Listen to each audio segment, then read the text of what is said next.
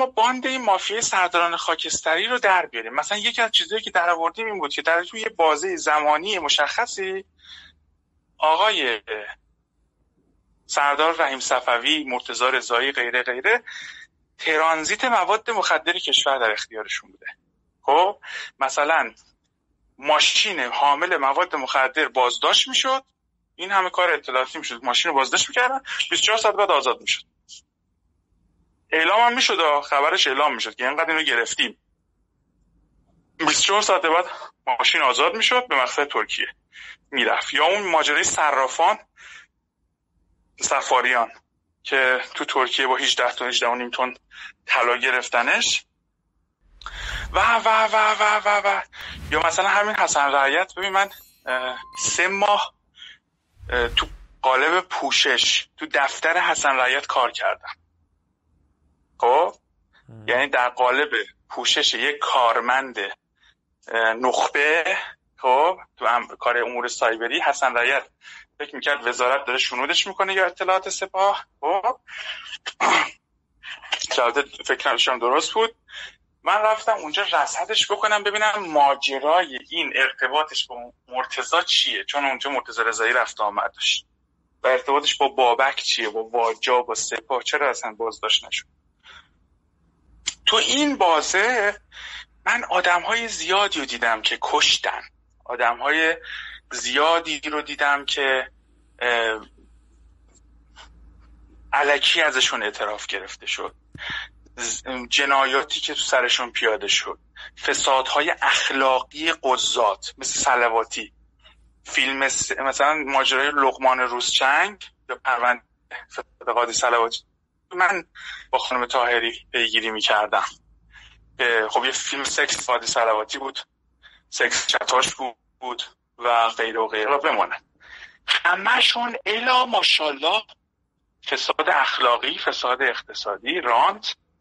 خب اینها تا یه جایی ما رو دیگه زده کرد. از یه جایی به بعد ما فکر می‌کردیم آقا سالمه.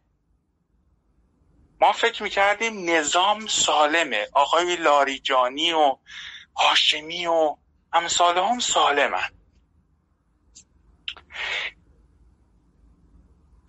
خب به حسب اینکه در مردم بچه های وزارت و نیروهای امنیتی به خاطر اینکه در معرض اطلاعات قرار دارن خب این اطلاعات خب چیه؟ جزئیات زندگی مردمه. از روابط غیر اخلاقیشون تا فسادهاشون تا غیره. خیلی شدیدن در معرض فسادن. می‌فهمی چی میگن بچه های اطلاعاتی؟ وقتی که تو بدونی مثلا فردا داره دلار گرون میشه یا ارزون میشه وقتی که دوزار تو جیبت نباشه چیکار می‌کنی؟ فاسد میشی. لذا حجم وسیعی از بچه های و اطلاعات و غیره فاسد بودن.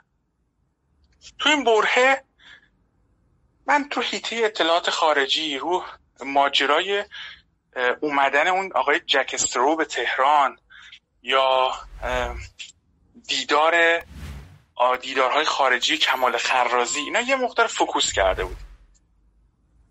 که متوجه یک تیمی و یک گروهی و یک سناریو یک جایی شدیم یک مجمعی شدیم به نام گروه بیلدنبرگ. که و یک حالا تو بیلدربرگ آره. بیلدربرگ ها مجموعه مؤسساتی داشتن که از طریق مجموعه مؤسساتشون و نفرات اصلیشون ارتباطاتی رو با سران کشورهای دنیا برقرار می‌کردن و سیاست های کلی مؤسسات سیاست گذاری زیر مجموعهشون رو ابلاغ می‌کردن. حالا یه جاهایی تو میگه اصلا مگه میشه همچین چیزی؟ بله میشه. ببین مثلا تو... نمیشه حالا برای کامل بگم ولی یه چیزی بالاتر از بیلدنبرگ هست به نام کمیته 300 که اینا زیر مجموعه خب. میته آره. یه تعدادی از سران کشورها و افراد از بانفوذ بزرگ مثل راکفلرها و روچیلدها و اینا هستن.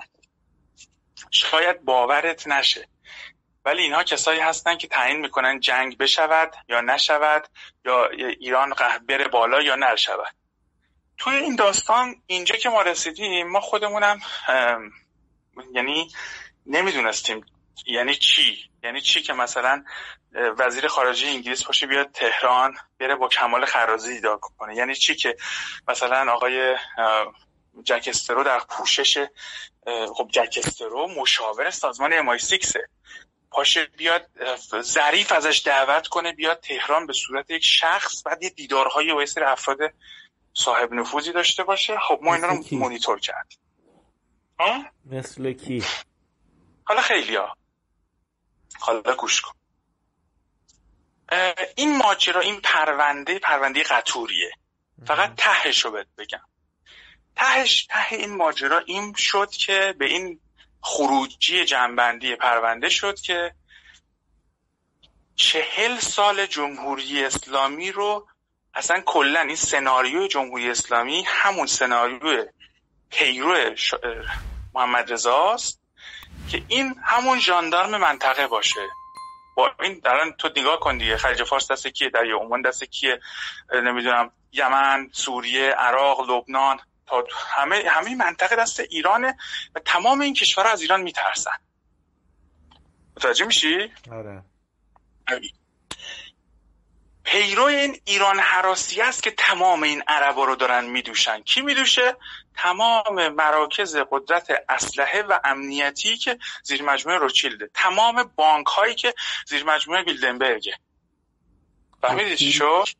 خانواده سوپر ثروتمندی که حتی رئیس جمهور آمریکا هم تعیین می‌کنن. حالا بعد توضیح میدم خب. تو این ماجرا حالا اینقدر بگم خود محمد رضا شاه و فرح تو دو تا از جلسات بیلدنبرگ شرکت داشتن. خانم افتکار خاتمی آقای سریع القلم نمی‌دونم خیلیا و حالا هر کس با این بیلدنبرگ و این تیم بیلدنبرگ شکل یعنی اخت می‌گرفت رفت و آمد پیدا می‌کرد. به شکل محیر العقولی این مراتب ترقی رو یکی صد تا طی می‌کرد. همین آقای ظریف که نماینده ایران تو فلانجا بود یهو میشه وزیر الان می‌خواد حالا کاری نداریم. میره بالاتر. خب ظریف و آقای جواد ناظری هم بعد توضیح شد میدم. یا خیلی دیگه. یا آقای رئیسی یالا میشه رهبر. خب؟ یا مثلا همین ماجرای مثلا جنگ خلیج فارس که به زودی اتفاق میفته. ببین کمیته بیلدنبرگ هر ماه تشکیل جلسه میده مؤسسات زیر مجموعش کارگروهاش و خروجی جلساتش رو به صورت جلسات سالانه یا شش ماهه به بیل... تیم بیلدنبرگ میدن. جلساتی به صورت مخفیانه برگزار می‌کنن و توی این جلسه بر... تصمیم گیری کلان گرفته میشه. که حالا چه کار کنیم؟ توی این جلسات مثلا الان یک آخرین جلسه ای که اینا برگزار کردن اینه که قبل از ریاست جمهوری ترامپ جنگ نمیشه. ترامپ رئیس جمهور بشه افزایش تنشات تو خاورمیانه باشه که اینا به نفع هم بیلدنبرگ هم ترامپ. جنگی میشه بین ایران و تمام این کشورهای منطقه.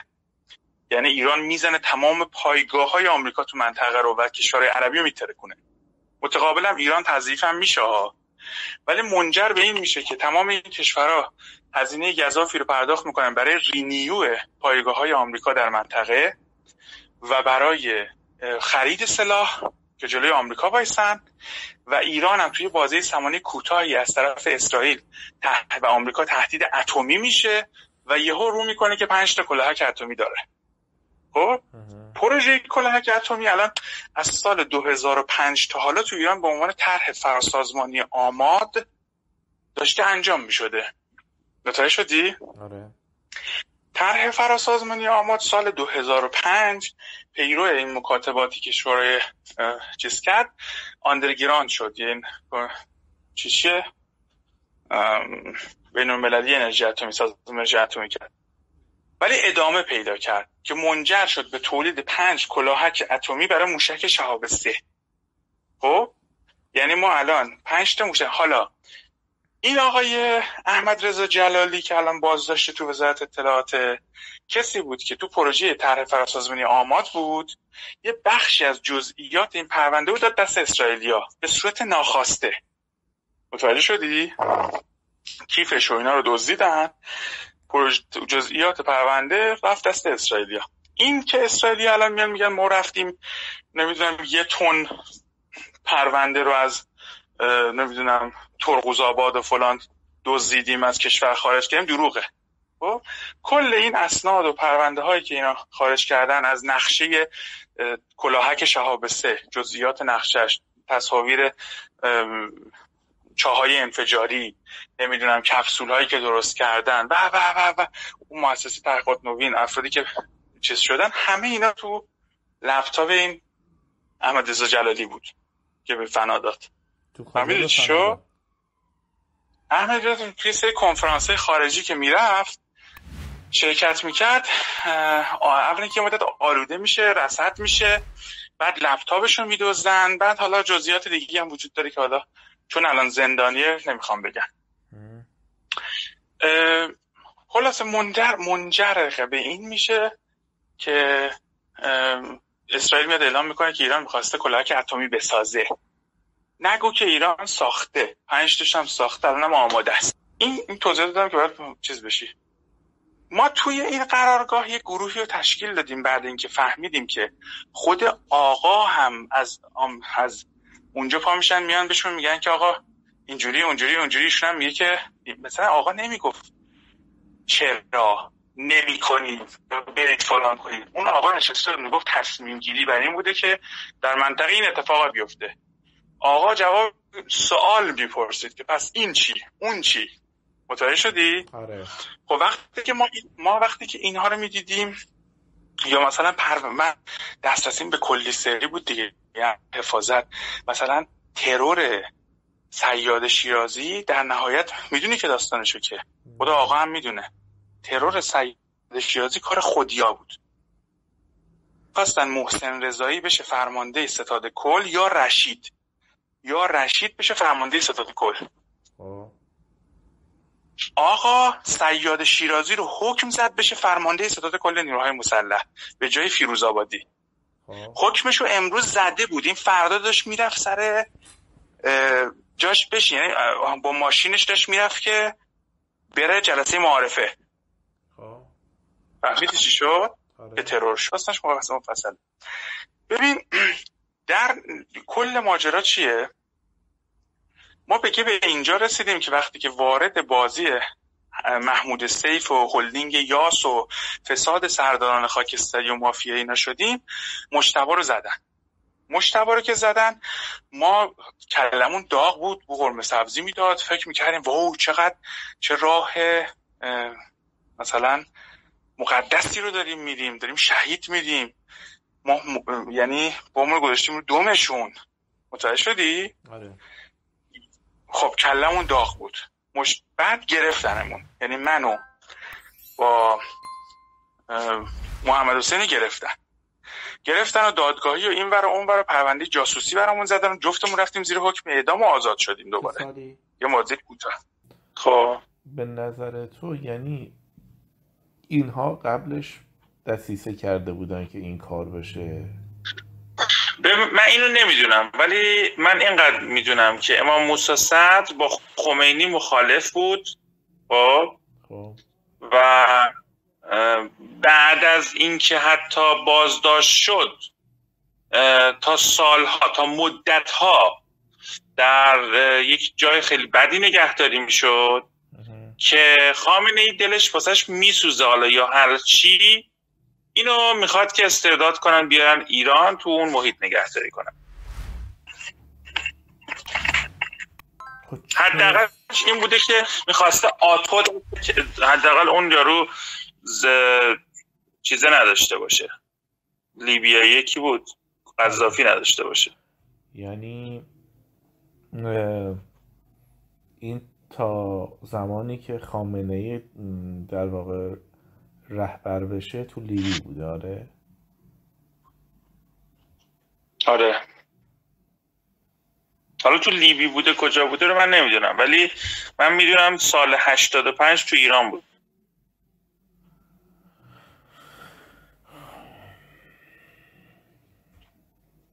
یکی دو سال بعدم مرده. پیرمرد فرتوتی هم بود. بعد ببین یه سوال. این اطلاعات رو. اون زندان میگه برای وزارت اطلاعات درسته؟ توحید ببین اون زندان مال وزارت اطلاعات هست. خب؟ ولی تو وزارت ببین از اون زندان شاید تو ایران کلا صد نفر نه. پنجا نفر یا سی نفر با خبرم یعنی خود... چون که یعنی خود... داخل زاغه که یعنی وزیر می‌دونسته. داخل زاغه وزیر اطلاعات می‌دونسته. نه بابا وزیر اطلاعات وزیر اطلاعات زوری راش میدن تو. وزیر اطلاعات چی می‌دونه؟ رئیس ببین رئیس جمهور هم نمی‌دونه. از موضوع بازداشتگاه توحید تاها تاهری خبر داره چون که مدت های از اول انقلاب به بعد بازداشتگاه دست مرتضی رضایی و تاها تاهری بوده و حبیب الله خب؟ حبیب الله حاج الله خبر داره تاها تاهری خبر داره. آقای دیگه بهت ارز کنم که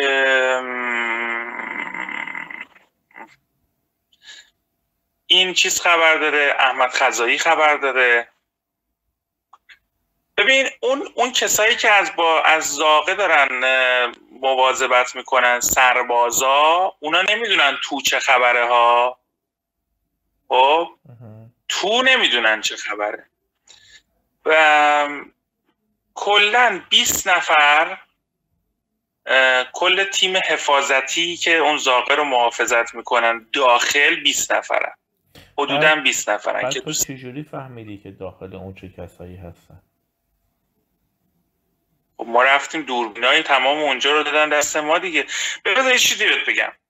تو کشور یک سری مراکزی وجود دارن خب که اختلاف بود که این مراکز امنیتشون در اختیار کی باشه؟ از نظر سایبری و فنی سایبری. خب مثلا معاونت 332 وزارت میگفتش که من معاونت فنی وزارت اطلاعاتم مسئول تأمین امنیت یا رسیدگی به امن کردن اینها یا اوورهالشون نگهداری این سامان ها من باید باشم. اطلاع سپاه می‌گفت تو نهاد دولتی من نهاد حکومتی هم امور حیاتی رفت به نظام باید دست من باشه. تو امور مربوط به دولت مدیریت کن. زر زیادی نزن. دفتر آقا می‌گفت من جفتتون آدم حساب نمی کنم قبول ندارم. جفتتون اونجوری که باید من می‌خوام نیستی. دلیلش هم این بود که میگفتش که این اطلاعات انقدر مهمه که اگر دست تو باشه داستان میشه دست تو هم باشه داستان میشه. یک نهاد مستقل مورد وسوق لازم بود. خب؟ مثلا دوربینای دفتر آقا دوربینای نهاد رهبری تلفن‌های همراه منطقه. می‌دونی که تلفن‌های اون منطقه شروط نمیشه. خب؟ تلفن‌های دفتر آقا تلفن‌های داخل موبایل‌های داخل خب؟ اجازه شروط ندارن وزارت نداره سپاه هم نداره. تلفن اونجا رو آقا داده به قرارگاه دفاع سایبری خودش هم آدم گذاشته. خب؟ که کنترل کنن شنود کنن همه پرسنلو یکی از به نام سیدزیا هاشمی مسئولشه بعد مثلا یا مثلا یه جای دیگه مثلا مثل ستاد مشترک ارتش یا ستاد کل نیروهای مسلح ستاد مشترک کل ستاد مشترک سپاه. دیگه به که همین بازداشتگاه توحید. خب؟ دیگه به درس بکنم که یا مرکز سپند که همون طرح فراسازمانی آماده. دیگه به کنم که دیگه دیگه دیگه دیگه دیگه همینا دیگه دیگه چیز خاصی همچین نیست. اینا باید دست این باشه. یعنی اونا کنترلشون رو این داستان می‌کنن. زمینه که کل سام... اون شست خورده این نفری که میگی توی بازداشتگاه توحید بودن دو تو چی یه سریشون عربن یه سریشون اسرائیلی هن. یه سریشون عربن یه سریشون القاعده ای خب دیگه باید عرض بکنم که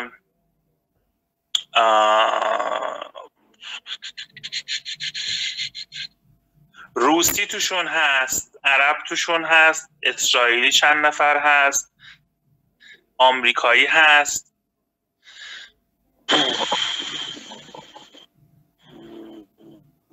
به چه دردشون می‌خوره ببین اینا کسایی یعنی اونجا که من فهمیدم که به دلایل مختلف مثلا بعضیاشون رو گرفتن اگر ولشون کنن بد میشه مثلا آبروشون میره خب؟ اگه ولشون کنن. اون خب میگه کجا بودم چی شده چه خبر بوده. بعضیشون گر... نمی‌کشن. نمی‌کشن. دلیلشون اینه که خامنه میگه که خب نگرش تا بمیره دیگه. از یه طرف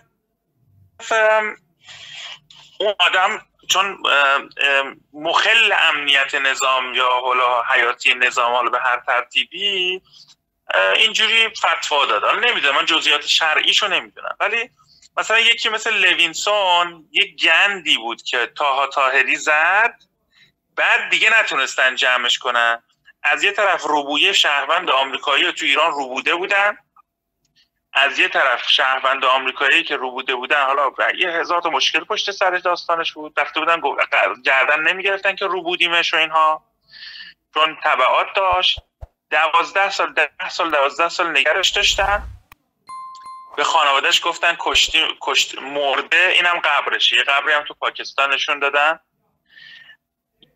می‌خواستن باجگیری کنن از بابتش. دیگه انقدر گوه زدن. گفتن دیگه آقا ما که دیگه اینو چیز کردیم گردن نگرفتیم. ببرش اونجا نمیدیمشم دیگه. الان تنها راهی که این بچه آزاد شه اینه که مثلا یه سرویسی مثل پاکستان. بیاد بگی که آقا ما اینو می‌گیریم با نظارت خودتون. یه حمله می‌کنیم به یه قاری به یه گروه جنداللهی چیزی. میگیم اینو از اینجا گرفتیم. متوجه شدی؟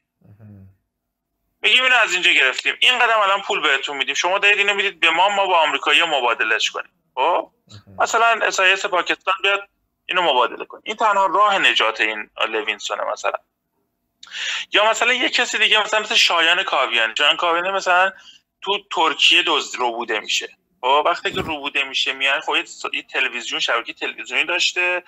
یه آدم با سواد و فلان. چون به پیامبرا و اینها همه اینا فوش می‌داده اینا زدن سب و نبی اعدام. بعد گفتن اگر اینو اعدامش کنیم خب به حال باید جسد به خانواده تحویل بدیم پس دادگاهی باید تشکیل بشه و اینها. چیکار کنیم؟ چیکار نکنیم؟ تبعات داشت چون اون موقع خیلی طرفدار داشت. اینو بردنش بازداشتگاه توحید. وقتی بردنش بازداشتگاه توحید دیدن آبا از آسیاب افتاده. حالا می‌تونن ادامش بکنن. ولی دیگه نمی‌تونستن از بازداشتگاه توحید بیارنش بیرون. دیگه این رفته بود توحید رو دیده بود. خب؟ دیگه موند همونجا. درست شد؟ و عموما کسی که میره تو بازداشتگاه توحید دیگه اعدام نمیشه. تو آخه میگی بن لادن اونجا بوده. بن لادن اونجا بوده.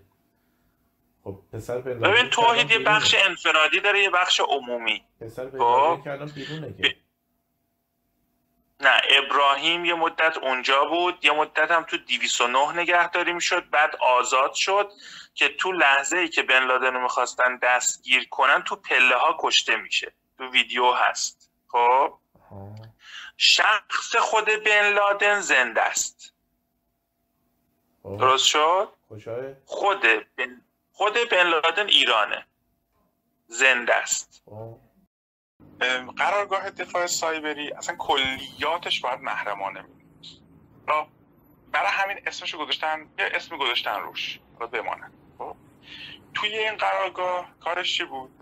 ما فعالیتی می‌کردیم برای دو تا چیز. اول یک مرزهای سایبری کشور رو حراست می‌کردیم اگر حمله سایبری به کشور ما می‌شد ما باید پاسخ می‌دادیم.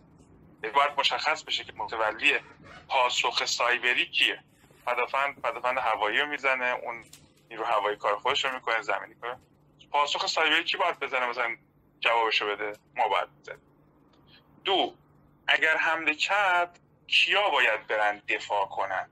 خب ما یه مرکز ماهر داشتیم.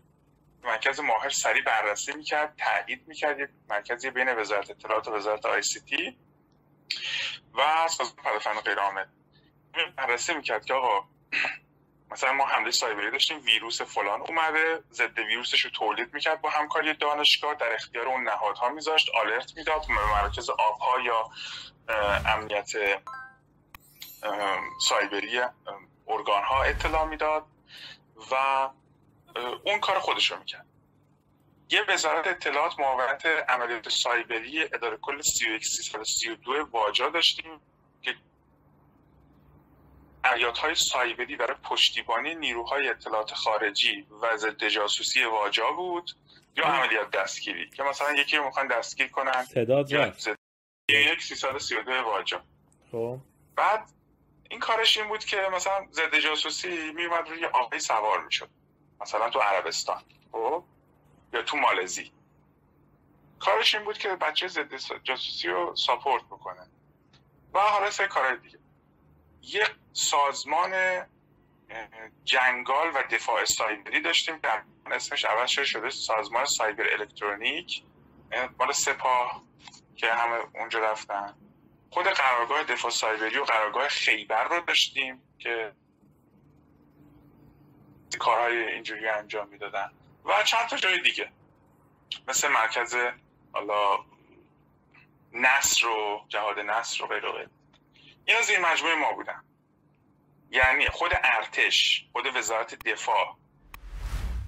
بعد حالا ما طبقه بندی اطلاعاتی داشتیم. مثلا تو پروژه های خیلی خیلی خیلی حیاتی های حیاتی نظام مثل پروژه آماد که همین پروژه ساخت سلاح هسته ایه خب این که تو این پروژه دوربین مدار بسته در اختیار کدوم ارگان باشه خیلی مهمه دیگه. پروژه به کلی سری بیشتر از به کلی سری یعنی پروژه حیاتیه. پروژه حیاتی در اختیار کی باشه؟ یا مثلا امنیت شبکه و زیرساخت های مثلا سیلوهای موشکی سپاه در اختیار کی باشه؟ سازمان اطلاعات سپاه؟ نه. متوجه میشی؟ در اختیار یک نهاد سالس حکومتی بالا دستی باید باشه که خودش همه بحث امنیتی رو رعایت کرده باشه. یعنی می‌خوام بگم اهمیت خود این سازمان چیه؟ حالا عملیات های یک سازمان به کلی سری ببین چقدر حیاتی هست. پرسنلش چقدر مهمه؟ کارهایی که می‌کنه چقدر مهمه؟ ببین دوربین های مداربسته وزارت اطلاعات دوربین های مداربسته بند های بازجویی 209 دو الف داخل زندان اوین. خب دفتر رهبری. ببین دفتر رهبری خیلی مهمه که دوربینش دست وزارت باشه دست اطلاعات سپاه باشه دست حفاظت عمومی دفتر آقا باشه. آقا یکی اومدیم تو دفتر آقا جاسوس بود. پسرش اومد فلش مموری زد چیزی برد. می‌فهمی چی میگم؟ آره. الو؟ آره داشت متوجه اینا در اختیار قرارگاه دفاع سایبری بود. یعنی من به, به نسبت شغلی که در اختیار داشتم کارم این بود که اینا رو می‌دیدم. و محمد حسین هم می‌دید. و ما می‌دیدیم چقدر کسافت و لجن از سر و روی نظام داره بالا ببین من کسی بودم که پا شدم خانم تاهری زینب تاهری وکیلم بود دیگه. زینب گفتش که من رفتم وکالت محمد سلاس رو گرفتم راننده اتوبوسی که رفت تو پاسداران رو مردم روی پلیسا. علکی بود. داستان براش در آوردن ننه مردالا بابا. حالا بهت میگم. من کسی هم که پا شدم رفتم تو سلول انفرادی محمد سلاس توی زندان رجای شهر کرج. وقتی دیدمش 26 نقطه سرش شکسته بود. مچاله شده بود گوشه سلول. شرایطش منو ملتهب کرد. ازش ویدیو گرفتم. صداشو ضبط کردم که صداشو منتشرم کردیم. خب؟ و اسناد در اختیار خانم تاری گذاشتم که خانم تاری پیگیری کرد. انقدر اسناد متقن بود ولی خب سناریو رو چون سپاه ساخته بود که بتونه سرکوب کنه مجبورشون کرد که دیگه شبانه اینو بکشن بالا. آقای کشکولی که قاضی پرونده بود من شخصا رفتم باش صحبت کردم. با خانم تاهری با آقای قاضی ملکی. اون هم رفتم باش صحبت کردم. کشکولی گفت من ویدیویی دیدم که توش این پشت فرمونه. گفتم آقای کشکی شما ویدیو دیدی؟ گفت آره. گفتم کو ویدیو؟ کجای پرونده؟ چرا کسی ندیده این ویدیو؟ گفت من دیدم. ما تمام بعد بچه های قرارگاه رو بهشون مأموریت دادن. تمام دوربین های مداربستی کوچه های اطراف رو تخلیه کردن. در حالی که اصلا این پشت فرمون نبود یک کس دیگه بنده خدایی از خود انصار حزب پشت فرمون بود که میاد اتوبوس انصار حزب الله رو جابجا کنه. وقتی میاد اتوبوس جابجا کنه اینا فکر می‌کنن این از اوناست. شروع می‌کنن ساچمه به شلیک کردن. این ساچمه می‌خوره تو چشش میفته روی فرمون چشش رو چیز کنه میره رو چند نفر. بعدم سه تا گوله جنگی بهش دادم. که دیگه آخر افتاد و مرد. بعد گفتن نه این شهید محسوب میشه. خب اگه شهیده چرا این گوله خورده؟ این ساچمه یا بابای من زده. اون گوله جنگی ها که توی جنگی مشخصه کی زده. اصلا سازمانی بوده. اون سلاس بدبختم تو کلانتری گوشه کلانتری افتاده بوده همه فکر کردن مرده انداختن گردنش یهو به هوش اومد. اعلام هم کرده بودن این سلاسه به هوش اومد. چیکارش می‌کردن؟ گفت برگشتم بهش گفتن تو یادت رفتی رو مردم؟ گفت نه. اگه شما میگید رفتن رو مردم حتما رفتم دیگه. کل ماجرای سلاس بدبخت اینجوری بود. و خب من اینا رو اینا رو من می‌دیدم. من اینا رو و نمی‌تونستم ساکت بشینم. تو منو می‌شناسی من چجوری بودم؟ نمی‌تونستم ساکت بشینم. و خب اول تلاش کردم که با محمد حسین اول اینا رو داکیومنته می‌کردیم. می‌دادیم به رئیس جمهور می‌دادیم به رئیس قوه قضایی می‌دادیم به دفتر آقا. که مبارزه بشه. دیدیم مبارزه نمیشه. دیدیم خود معاون وزیر دزده. خود معاون وزیر قاچاق مواد مخدر می‌کنه قاچاق کالا می‌کنه. معاون کدوم خب. وزیر اطلاع؟ اطلاعات. کی؟ گفتیم خب همین حاج حبیب الله حرومزاده همین آقای احمد خزایی حرومزاده پوفیوز که معاون ضد جاسوسی بود برکنار شد الان رفته مؤسسه برای خودش زده تو قوم. حجت الاسلام احمد خزایی ببین این آدم ها و خیلی های دیگه خیلی های دیگه این آدم ها آدم های سالمی نبودن. یا معاون اقتصادی یا همین آقای ادیبی که الان تو معاون اقتصادیه. اینها آدم های سالمی نبودن آدم های صالحی نبودن. اینا آدم بودن که پول می‌گرفتن رشوه می‌گرفتن و خیلی دیگه. ببین این عملیات ویژه معاونت عملیات ویژه وزارت اطلاعات خب؟ خب. صدامون داری؟ یعنی کارش چی بوده؟ خود خمینی دستور تاسیسش رو میده. کارش ربایش قتل ترور شکنجه و دستگیری های خاصه. چون کل وزارت اطلاعات دستگیری می‌کنه. عملیات ویژه انجام میده خب؟ یعنی اینجوری نیست که و این اینکه تاسیس شد خب ترور بختیار حادثه میکنوز اون آرژانتین. اینا رو استارت زد. وقتی که اینا رو استارت زد بعد از یه مدت گفتن خب تو داخلم یک جاهایی باید کارایی بکنیم. خب؟ اینجا همزمان شد با اینکه مرتضی رضایی شد فرمانده سپاه. بعد رفت پیش خمینی برگشت گفتش که آقا اگر قرار ما انقلابمون خیلی پیشرفت کنه فلان شه بیسار شه باید ما یه سری جاهای دیگه هم تو دستمون باشه. گفت کجا؟ گفت اگه مثلا مواد مخدر تو دست ما نباشه تو دست اوناست. پس ما بگیریمش تو دست خودمون. این قبول کرد. الان ترانزیت مواد اینو انجام میدن یا مثلا یا یا یا مثلا استناد کرد به قاعده فقهی افسدون من فاسد. گفت اگر مثلا لازم یه جایی یک آدم بیگناهی کشته بشه تا آبروی حکومت اسلامی حفظ بشه تا استحکامات حکومت اسلامی حفظ بشه قاعده فقهی آیه خمینی بود. گفت اشکالی نداره. خب؟ و این شد که مثلا انفجار حرم امام رضا خود وزارت اطلاعات شد. انفجار مسجد سید الشهدای رهبویان وسال شیراز. خب سال 87 منفجرش کردن. 14 تا کشته داد 208 نفر زخمی. خب؟ بعد یا مثلا ترور تاجیک ترور حاجیان ترور اینها پروژه هایی بود که فقط معاونت عملیات ویژه انجام حالا معاونت عملیات ویژه شکنجهگاه رسمی داره شکنجهگر رسمی داره. اصلا ترور کارش همه ترور و قصد همه می‌دونن حقوق می‌گیرن بابت این کار. نمونه کار معاونت عملیات ویژه قتل های زنجیری بود. تو پرونده قتل زنجیری بالغ با 400 بار اسم معاونت عملیات ویژه هم اومده. اداره کل عملیات ویژه در زمان قتل زنجیری زیر مجموعه معاونت امنیت بود. کل پرسنلی که تو بحث قتل زنجیری بودن و پرسنلی که بازجویی های فنی اونا رو کردن الان آزاد و زندن و تو وزارت اطلاعات تو معاونت عملیات ویژه دارن کار می‌کنن. خب؟ آره. یعنی آقای جواد آزاده آقای مصطفی کازمی آقای باوند آقای آلیخانی همه اینا هنوز زندن و توی اونجا. من عکساشون هم بهت میدم حتی تو مستند. خب؟ عکسای جدید و قدیمشون. خب؟ خوبه.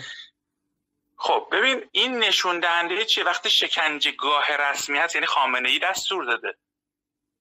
وقتی 107 نفر می‌برن شکنجه می‌کنن یعنی می میشه داخل وزارت اطلاعات تو پرنده پر بزنه همه می‌فهمن. مثلا تو بری شکنجه کنی که نفهمه. متوجه میشی؟ آره. این جزئیاتی داره. خب حالا این پرونده ها به هم وصلن. یعنی چی؟ یعنی ترور دانشمندای هسته‌ای رو این معاونت کرده. خب؟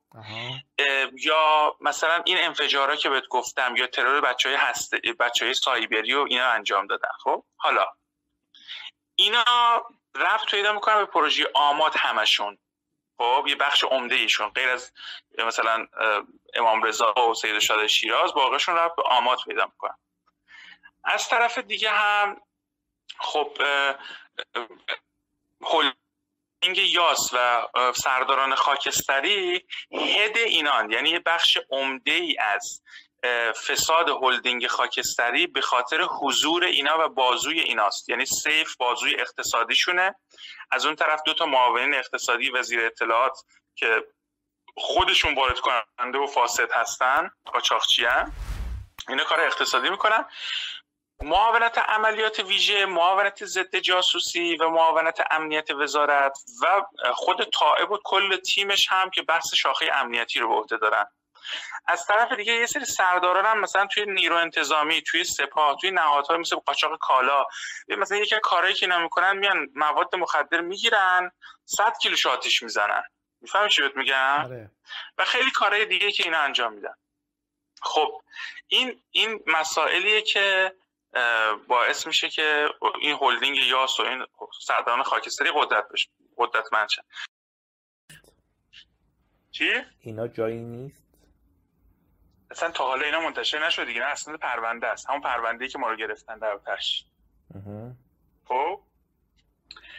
ببین علی تو جلساتش بود دیگه. تو جلسه بانک مرکزیش بود تو جلسه صدا و سیماش بود خب؟ تو جلسه حاج داوود احمدی نژادش بود تو جلسه سردار جلالیش بود. تو جلسه مجلس با علالدین بروجردی کمیسیون امنیت ملی بود. خب؟ من, مس... من ببین داستان این بود که ما رو سرورهای سازمان صدا و سیما خب؟ از طرف سازمان پدافند غیرعامل من قرارداد داشتم با سازمان پدافند غیرعامل سازمان پدافند غیرعامل حملات سایبری شدیدی رو به صدا و سیما رصد کرده بود و مقرر شد ما بررسی کنیم صدا و سیما چقدر امنه از پدافند غیرعامل. پیش پیشگیری کنیم. وقتی که این کارو چک کردیم و اینها با سیاه کلی رسیدیم. اول اینکه کل صدا و سیما رو هک کردیم و دیدیم که اصلا سوراخه. خب؟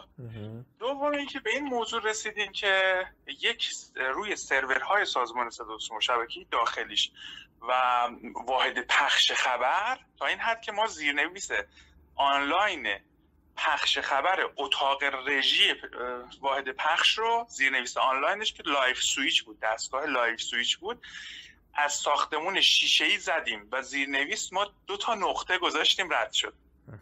متوجه شدی؟ هک کردیم. وقتی که این کار انجام داده متوجه شدیم که توی زیر ساخت شبکه یه نوعی بدافزار وجود داره به نام botnet. یک نوعی از بدافزارها هستن به نام botnet ها که این botnet اسمش stars یعنی star یه s آخرش یا ستاره ها هم بود ستارگان. و کارش هم این بود که از راه دور data هایی رو بهش command می‌دادن. مثلا فایل های Word فایل های document های این شکلی فایل مثلا database ها رو کد شده packet شده شروع می‌کرد ارسال کردن برای یه سری سرور توی اسرائیل و جاهای مختلف. خب ما report فنی رو دادیم به آقای سیاکلی. آقای سیاکلی تیمش بررسی کردن تایید کردن. سیاکلی که تایید کرد یه گزارش مبسوط کاملی روی این گذاشت فرستاد به سردار جلالی. سردار جلالی از ما دعوت کرد که پاشید بیاید. بعد چون من با یه نهاد خیلی جلالی؟ خفن آن غلام رضا جلالی بیشرف. خب. این آقای جلالی ما رو دعوت کرد با بیان سازمان. من از این نهاد امنیتی که دارم بهت میگم در اون زمان با سازمان حفاظت اطلاعات سپاه کار می‌کردم خب. از ما دعوت کردن که خب ولی قرارداد داشتم با خود سازمان پدافند. با کجا؟ با معاونت حفاظت اطلاعات سازمان پدافند غیرعامل آقای قبولیان. خب, خب. با آقای قبولیان ما چیز داشتیم رفتیم تو جلسه. آقای دکتر فرزین و خیلی های دیگه از مرکز ماهر مرکز مدیریت رخدادهای رایانه‌ای وزارت اطلاعات همین جواد ناظری که الان وزیر آی همون اسمش چیه؟ آزای جهرومی فعلی. و یه عالم آدم های دیگه. جهرومی اسم پوششیش تو وزارت جواد ناظری بود. آها. خب؟ آره. و اصلا کد کارت ملی همه چی هم به نام داره. بعد رئیس اداره 332 بود یعنی معاونت فنی و مهندسی وزارت اطلاعات. معاون وزیر اون زمان.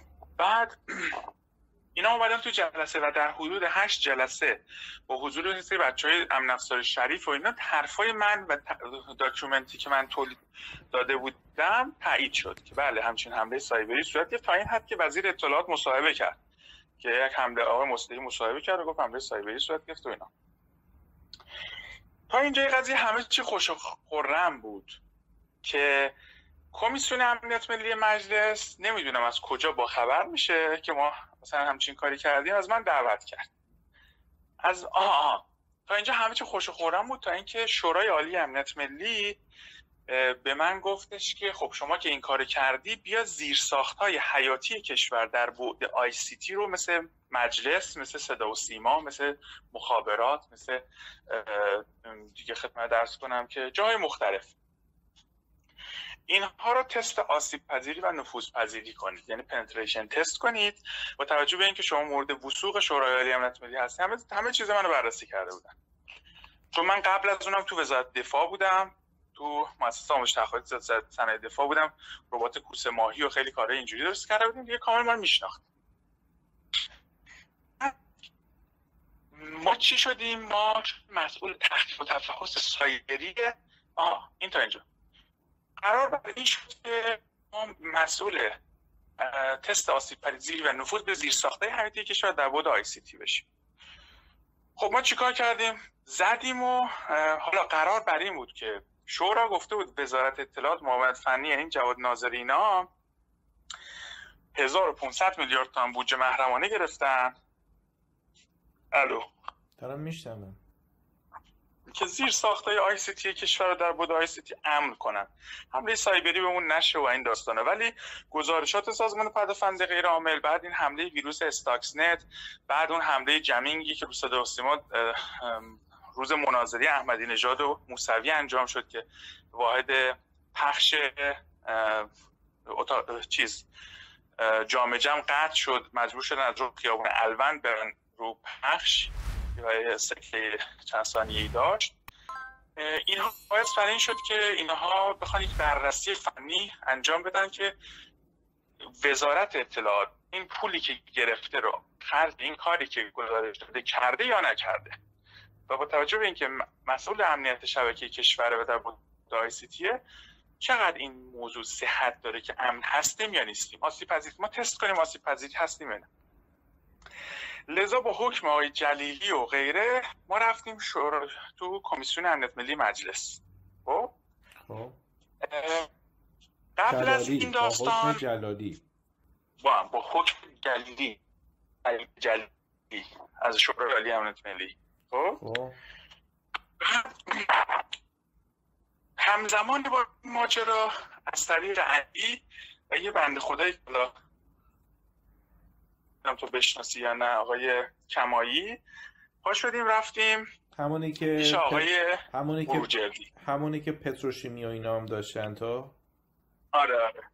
خب. آره اون با علادین بورجردی دوست بود. ما قرار بود فردا بریم تو کمیسیون امنیت ملی. شب قبلش رفتیم تو کاشی سامان. زشه دیگه.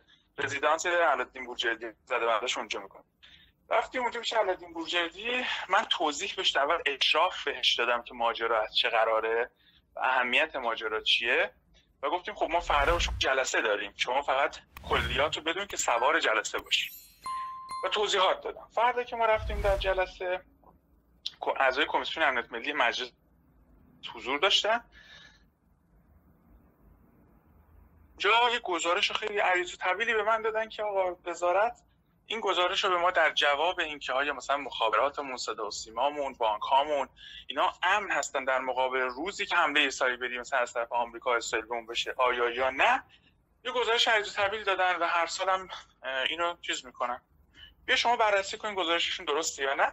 با حکم کمیسیون امنیت ملی و شورای عالی امنیت ملی من شدم مسئول تحقیق و تفحص سایبری وزارت اطلاعات.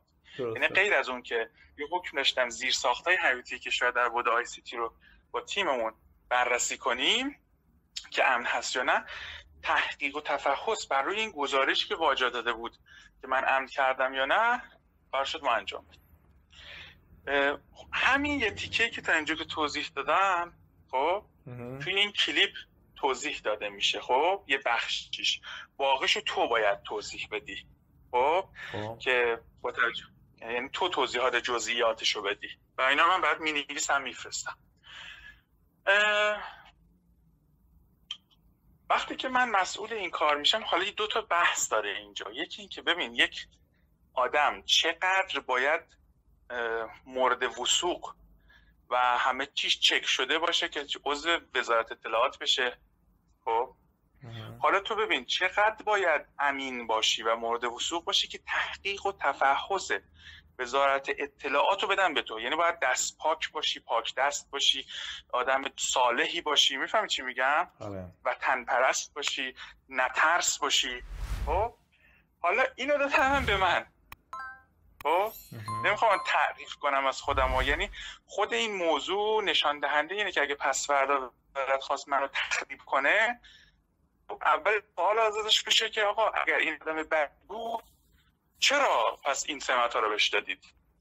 فهمی چی چون هم زندگیش چک کرد. این هم هم خدمت کرد. حالا خب دیگه باقی ماجرا هم دیگه می‌دونی. چه اتفاقی افتاد و ما ثابت کردیم که این بودجه خرج نشده و بعد متوجه شدیم که آقای ناظری از طریق برادرش توی و اون آقای فیروزآبادی یه شرکتی به نام خدمات خدمات که ایران رو اندازی کردن یه چند تا شرکت جانبی مثل صنایع الکترونیک زعیم و غیره و به صورت انحصاری امنیت شبکه بانک ها رو دادن به اینا انحصار. و یکی من یکی تو بودجه رو بین خودشون و اونا تقسیم کردن. حالا توی اون شرکت ها کیان؟ خود مدیرای واجا یعنی آقای فیروز آبادی معاون وقت 332 بوده همزمان مدیر عامل شرکت زعیم بوده و هزار میلیارد تن بودجه داده از واجه به زعیم. یا خیلی یا افراد نزدیک خانوادهشون ده ها نفر توی اونجا مسئولیت داشتن و صد تا تا 800 تا سکه گرفتن. 800 تا. سکه گرفتن. و مرور. ام افسر ام آقای مثلا سجادی امثال آقای مثلا یا بهت معرفی می‌کنم. حمیدیا آقای حمیدیا آقای روغنگرها. دیگه ارز کنم که حالا انارکی اینا فکر کنم انارکی بشناسید امنیت شبکه یه سری بانک ها و نرم افزار الکترونیکشون توی شرکت زده بود. می‌گرفت. یکی از پسر امواش رئیس اطلاعات کرمانشاه یکی دیگهشون نماینده مجلس یکیشون تو نمی‌دونم همشون امنیتی هم خب؟ چشم درشتی داره دیگه. چشم خیلی درشتی داره دیگه. حالا دیگه توپل عینکیه یه مقدارم کچله. حالا گوش کن. خب. این بنده خود حالا وقتی کار به اینجا رسید ما یه گزارش رو دادیم به وزیر دادگستری وقت آقای بختیاری که بده دست آقای حقانیان که بده به آقا. خب, خب. که پی بردیم که واجا روی بورس access داره و شاخص بورس رو بالا پایین می‌کنه. که 17 فروردین سال 90 این این کار رو انجام میده واجا. یعنی شاخص سهام بورس و بعد از تعطیلات نوروز که روز اولی که باز شده چهل درصد می‌کشه بالا. و بیشترین افزایش بورس رو داشتیم. فرداش سقوط می‌کنه بورس. بورس شاخص بورس سقوط خیلی عظیمی می‌کنه و همه خبرگزاری هم می‌زنن. تو این افزایش و کاهش خودشون خرید فروششون رو می‌کردن. و میلیاردر میلیاردها تومن پول بردن. خب کیا مثل همین ابوالحسن فیروزآبادی. فیروزآبادی بعد از این ماجرا میشه رئیس شستا. خب یعنی بعد که این گنده این ماجرا در میاد بر, بر کنار میشه میشه مدیر عامل شستا. کجا بوده فیروزآبادی خب؟ میگه قبلا؟ ببین فیروزآبادی معاون 332 واجا بود. سالهای سال. الان دبیر شورای عالی فضای مجازیه. خب و عضو رئیس مرکز ملی فضای مجازیه که زرقامی هم اونجاست. خب. بعد از فیروز آبادی آقای سعید روغنگرها و آقای سجادی میان تو بازی زمانی کمی و بعدش جواد ناظری. درست شد؟ همین که آذر جهرومی دیگه. چی؟ همین آذر جهرومی دیگه. آره همین آذر جهرومی فعلی وزارت رسید آذری جهرومی که در اون زمانی که ما داشتیم این کارو می‌کردیم و معاون وقت بود خب ما ما گزارشی رو بعدا بردیم تو جلسه بانک مرکزی طبقه 15 بانک مرکزی. مدیرای امنیت شبکی تمام بانک ها حراست بانک مرکزی حراست فنی خیلی ها بودن. از وزارت از اطلاعات سپاه از دادستانی همه بودن. ما گزارش ارائه کردیم رو 15 تا بانک دسترسی باز کردیم. اطلاعات بیش از 3.5 میلیون نفر مردم رو باز کردیم توی اونجا. خب؟ وقتی وقتی که این کاری کردیم حتی تو اون فل... حالا جزئیات جلسه هم هست که بعد بهت نشون بدم آقا فردای این جلسه ما محل اقامت بچه ها و محل کارشون سه چهار تا خونه ویلایی تو شهرک غرب بود. خب مال شورای عالی امنیت ملی بود. خونهای لاکچری مال مصادره ها داده بودن به ما که دست آقای زرگر بود. همین قاضی زرگری که معروفه. خب؟ که داده بودن به ما و که توش کار کنیم. که یه جوری هم باید کار می‌کردیم که وزارت نفهمه. چون داشتیم تفاوتش می‌کردیم دیگه. وزارت پا میشه مکالمات منو شنود می‌کنه. می‌بره پیش جعفری شعبه چهار دادسرای اوین. میگه آقای جعفری این آقا این همه تو خارج کشور رفته دوره دیده. الان اومده اینجا یه تیم هکری تشکیل داده به صورت در پوشش شرکت آیتی تو شهرک قبل داره زیر ساخته کشور هک می‌کنه و جاسوسی سایبری می‌کنه و مسلح هم هست. راست میگه منم مسلح بودم. تو تلفن مثلا در اسلحه صحبت کردم. آقای جعفری هم فرود به مخفی مخفیگاه و حکم تیر و دستگیری و اینها میده. از دادسر شاید مقدس یعنی بند خودم از همه جا بیخبر یه صدای مکالمات ما رو شنیده میگه بله دیگه. دارن در تو با حک شبکه بانکی حرف می‌زنن در اسلحه صحبت می‌کنن. این یارو هم که واقعا رفته خارج از کشور رو یه سری داستان آقا اینا میریزن ما رو بازداشت می‌کنن. فقط هلیکوپتر نیاوردن برای بازداشت ما. یعنی از سمت اتوبان همت حدود 20 نفر مسلح اومدن ریختن تو خونه. از این طرف در ریختن در کردن که ما محافظین شورا اسلحه کشی که کردن یه داستانی شد بعد در واز کردن اونا اومدن تو. اومدن تو همه ما رو بردن. همه یه بچه ها رو به نام های دیگه در 209 رجیستر کردن. رضا تهرانی رئیس 209 هر روز به من سر می‌زد. و من اونجا متوجه شدم که اسم من رضا فریبرزی ثبت کردن. خب؟ بچه های تیم منو بعد از 15 20 روز ازشون نامه التزام به همکاری می‌گیرن.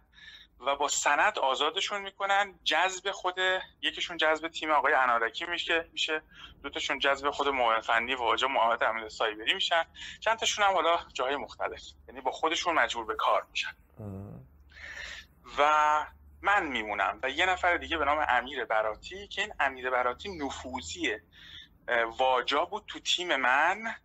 این رو لابلای کار که ما انجام میداریم یکی از بچه های تیم معرفی کرد گفت کارش خیلی حرفه‌ایه خودش هم تمایل نشون داد که با من کار کنه. وقتی که وارد تیم شد نگو عامل واجا بوده اطلاعات تیم ما رو می‌برد و اونجا می‌داده. خب؟ ولی لابلای کار متوجه میشه که من چجور آدمیم و اینها به من گفت که من داستان فهمیدی چی شد؟ یعنی علاقمند میشه به شخصیت من و به حالا نمی‌خوام به نوع کاری که ما داریم می‌کنیم و حالا رابطه دوستانه که با بچه ها از صداقتی که از حالا که همچین چیزی نبوده سر همین موضوع اونم نگر داشتن که ادبش کنن. خب؟ بگن که با ما بودی چرا مثلا ما رو دور زدی؟ خلاصه ما رو نگر داشتن سه ماه و 16 روز انفرادی بودم. تا بعد از سه ماه و 16 روز انفرادی دیگه خب هیچی از من در نیومده بود. توی اوین منو شبانه از زندان خارج می‌کردن میبردن. یه جایی یه اتفاقاتی میافتاد شکنجه هایی می‌شد که تو اینقدر بگم یعنی خود از یک ماه بعد یعنی چهار ماه بود که من تو اوین انفرادی بودم. یه روز که می‌برن یعنی هر دو ماه دو ماه تمدید می‌کردن انفرادی من. من برای ماشین پژو پژو پژو نبود. بنده که بردن دم دادسرا تو خود زندان. بردن هم دم دادسرای شهید مقدس ابنی نشسته بود تو ماشین و همین جمع آبیا و چشمند و اینها. این بچه های ابین خیلی با من اوکی بودن. یه همه می‌دونست خیلی ازم سوال می‌کردن برای بند دیویسونو که آقا مثلا تو اینو چجوری هستنیمونو کار کنیم؟ یه هو یکشون گفت حالا ساکت باش رئیس داد معاون دادستان اومد. سازو نشنوگی به ما میده. خب؟ آقا اینو گفت. من عقل که عقلی کردم. میگن چی میگن؟ من چشمندم دادم بالا شروع کردم زدن با دستبند به شیشه که سر صدا کردم. آقای رشد احمدی و معاون دادستان معاون امنیتی دادستان تهران رئیس دادسرای شاید مقدس بود. اومد سمت ماشین. چرا تو سر جدا می‌کنی داده بیاد که آقای رشد من ریشم در اومده بود. بلند. موام بلند. قیافه اصلا تشخیص نمی‌داد گفتم آقای رشته من مولوی ام. فلانی اینجا جوری اینجوری. گفت پسر تو اینجا چی کار می‌کنی؟ اینا چی هم گفتم بچه دیویسونا هم گفت تو این مدت کجا بودی؟ گفتم تو دیویسونا بودم. خلاصه گفت دستبندشو باز کنید. باز کنید. بعد دست منو گرفت و برد تو اتاق. خودش تو دادستان. بازجوها و اینا هم همه رو گفت پشت سرم بیاید همه رو آورد و اینها. بازجو سربازجو کارشناس پرونده همه اینا رو احضار کرد. آقای بیگی بود کارشناس پرونده من. و گفت شما چرا اسم بعد بازپرس هم احضار کرد. گفت تو تا حالا این آدم رو دیدی؟ باز گفت نه. گفت تفهیم اتهامش کردی؟ گفت نه واقعیتش. فهمیدی چی شد؟ یعنی من بعد چهار ماه تفهیم اتهام نشده بودم. چرا؟ چون بازپرس منو ندیده بود اصلا. که بگه من اصلا مسعود مولوی ام رضا فریبرزی ام اینی هم که اینا میگن نیستم. خب؟ فقط تمدید می‌کرد انفرادی های منو. فهمیدی چی شد؟ آره. خلاص اونجا فهمیدن چه غلطی کردن. بعد گفتم که آیه فلانی راستیتش من شکنجه شدم. گفت بابا تو دیویسونو همه میگن شکنجه شدیم. دست به کسی نمی‌زنن که. یهو من پیرنم و لباسم زدم بالا بخیه ها رو دید. خب؟ ببین من پاهام دستام کمرم مچای دستم پر بخیه بود. بخیه نکشیده شده. بخیه سیاه. پشما شیخ گفتنی. گفت اینا چی هم؟ گفتم که پرونده ما از دیویسونو بخوای. پرونده خواست تو بهداری دیویسونو وقتی که می‌خوای بری تو لخت مادرزادت می‌کنن و میگن بشین پاشو نگاه می‌کنن ببینن کجای بدنت بریدگی هست. دو... یعنی دو تا دکتر. انگشتات رو نگاه می‌کنن. هر جا بریدگی یا آثار جراحت قبلی هست پزشکی قانونی هست. می‌زنن آقا مچ دست راست اینجوری اونجا اینجوری. مال من تو پرونده پزشکی زده سالم. سالم چی چی چی؟ یعنی این اتفاقات تو دیویسانا برای من افتاده بود. گفتم آقا طبق پرونده من تحت بازداشت شما بودم یا نبودم؟ گفت آره. گفتم این آثار جراحت مال کیه؟ مال ده 20 روز پیشه دیگه. ده روز پیش هنوز بخیهش کشیده گفت آره. هیچی ما رو از همونجا آقای رشته احمدی با همون لباس سوار ماشین خودش کرد برد پیش آقای دولت آبادی. دولت آبادی که منو دید و ماجرا فهمید همونجا دستور داد به پزشکی قانونی خود رشته احمدی به باسپورس گفت خودت باهاش پا میشی میری. باسپورس جعفری با من اومد با هم رفتیم. پزشکی قانونی آثار جراحات رو دیدن و نامه رسمی پزشکی قانونی به من داد که شکنجه شدن. یعنی نامه رسمی پزشکی قانونی رو دارم. آثار شکنجه ساعتش چجوریه؟ و معلوم بریدگی برای عمل جراحی یا غیره نبوده. متوجه شدی؟ و آثار آمپولایی که تو کمر من زدن و غیره. اینها اومد رو پرونده من. فرداش وقتی اینا اومد داد ستان به آقای رشت احمدی گفت مولوی رو. با خودت برید دبیرخونه شورای امنیت ملی. ما رفتیم دبیرخونه شورای امنیت ملی. من از وزارت اطلاعات شکایت کردم. معاون امنیتی دادستانم شکایت کرد.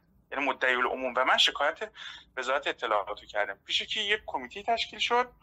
اسماعیل کوسری از کمیسیون امنیت ملی اومده بود. آقای نجات رئیس جلسه بود که موقع رئیس حفاظت ولی امر بود و نماینده آقا در این پرونده. چون من, من راستش مفصله.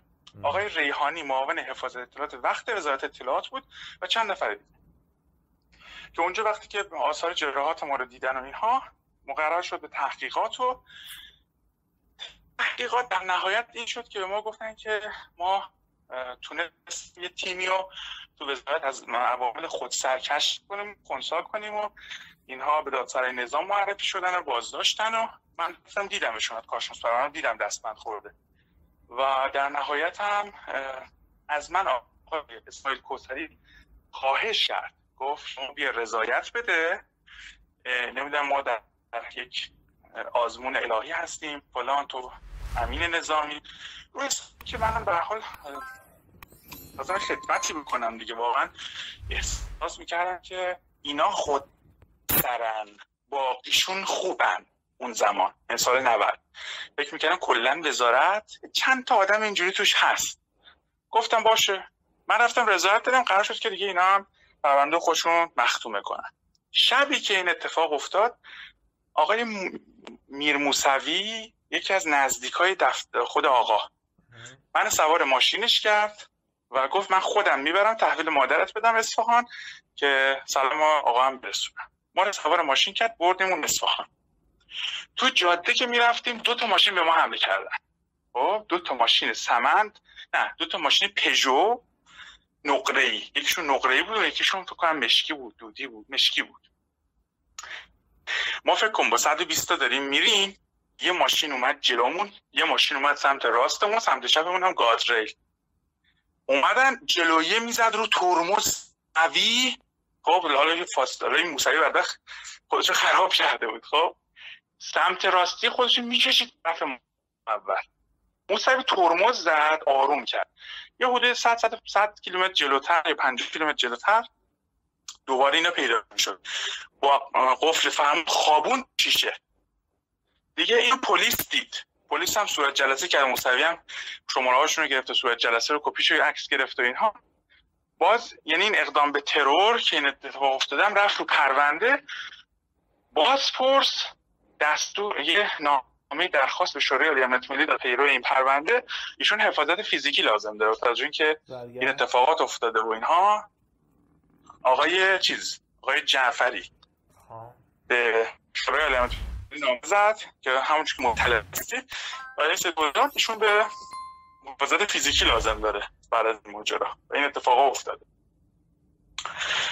دیگه اون اتفاقات که افتاد دفتر آقا منو خواست. بعد از اینکه دفتر آقا منو خواست گفتش که خب شما نظرتون چیه؟ گزارشتون چیه؟ یه حدود سه ماه ما می‌رفتیم و میومدیم تا از من خواستن که طرح کلیات تاسیس قرارگاه دفاع سایبری کشور رو که آقای جلالی می‌گفتی سردار جلالی میگفتش که مسعود مولوی به من اینا رو پیشنهاد داده بنویس سردار بیار. منم نشستم حدود 300 400 صفحه از روی حالا قرارگاه سایبری آمریکا یا مراکزی مثل تو آلمان و انگلیس و غیره. اون چیزی که مد نظرم بود نوشتم یه چیزایی بهش اضافه کردم بردم دفتر آقا. بردم دفتر آقا آقای سردار جلالی رفت مصوبه شو دستور آقا گرفت. تاسیس قرارگاه دفاع سایبری رو گرفت. بعد گرفت زیر مجموعه خودش یعنی سازمان پدافند غیر عامل. یک قرارگاهی تشکیل شد اون قرارگاه دفاع سایبری. من رفتم اعتراض کردم. گفتم آقا مثلا این جایگاهش زیر مجموعه ستاد کله. و بالا, بالا دست ارتش و سپاه باید باشه که بتونه تو هر کدوم نیرو داشته باشه. مثل قرارگاه پدافند هوایی که تو هر کدوم اینا پدافند داره. بعد قانونش رو اصلاح کردن.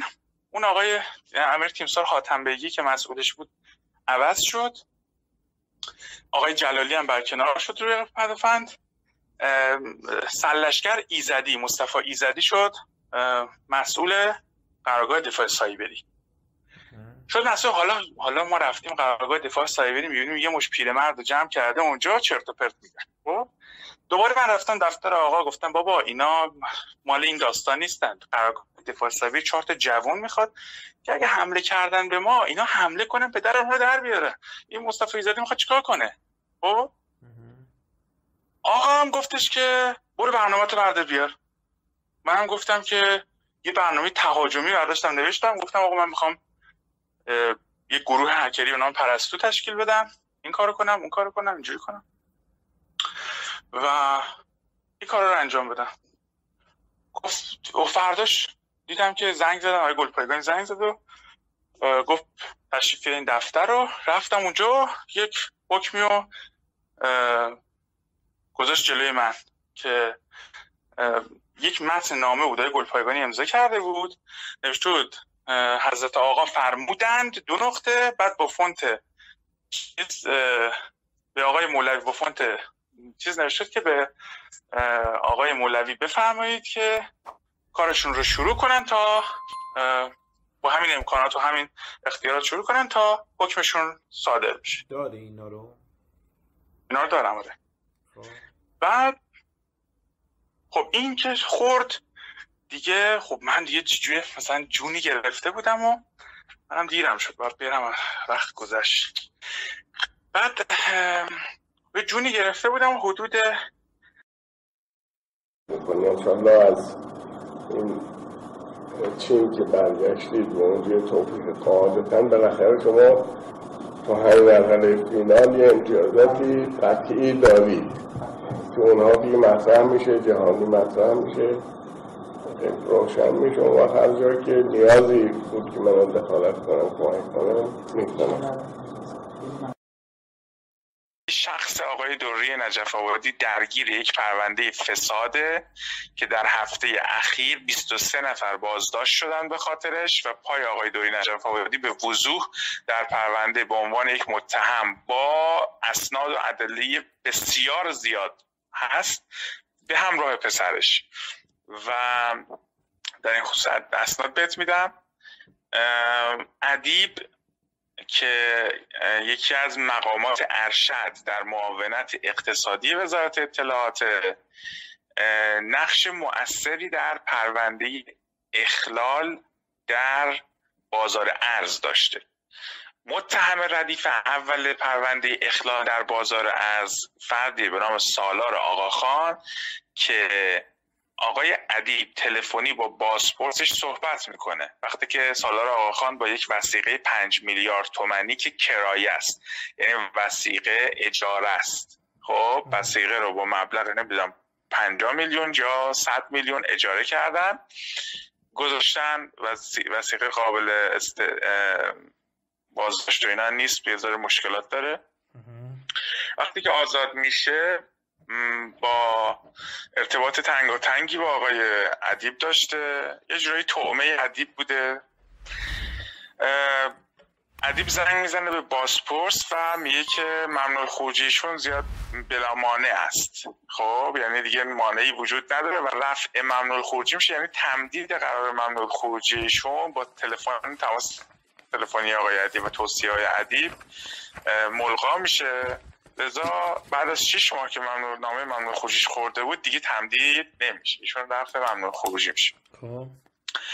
این یکی از نقش موثر. دو در پرونده اخلال بازار ارز شما نگاه کنید گر گردش کار پرونده و گردش کار پر... نهایی پرونده سالار آقا خان و نامه ای که روی پرونده خورده سراحتا گفته که مشمول رفت اسلامی به خاطر همکاری هایی که شده بشه. و خب این یعنی چی؟ یعنی, یعنی نوع نگارش حتی پرونده رو شما نگاه کنید از همکاری های گسترده سالار آقا خان با معاونت صحبت کرده. یعنی یه جوری داره کمک می‌کنه به صورت گویا. موضوع بعدی که هست اینه که تایید صلاحیت کتبی سالار آقا خان رو آقای ادیب داده از طریق بانک مرکزی و مرجع مربوطه به رئیس کل بانک مرکزی و معاونت ارزش یعنی قبل از همکاری. و کلی فعالیت های نقل و انتقال مالی و غیرش تحت نظارت آقای عدی بود. سال آقای پسر 28 ساله است الان 29 سالش شده. 29 ساله است که آخرین صف... آخرین خبری که ازش وجود داره الان هیچ هیچ جا پخش نشده اینه که از فرودگاه امام خمینی به وقت به منظور یک سفر زیارتی که از قبل هم اطلاع داده. گفته من دارم میرم. هیچکی جلوشو نگرفته. به مقصد نجف میره. نجف که رسید از نجف با توجه به اینکه پاسپورتش پاس ایرانی بوده به کشور ترکیه استانبول سفر کرده. از استانبول ردشو نداریم. ولی فقط همه قدرت بگم که کلا دیگه رفت. دیگه هم کسی برش نمیگه. دلیل چیه؟ سالار آقاخان یک رقم های بزرگی رو به صورت وجوه نقدی ارزی نقدی از بانک مرکزی با ماشین حمل پول می‌گرفته. و میبرده توی بازار پخش کنه.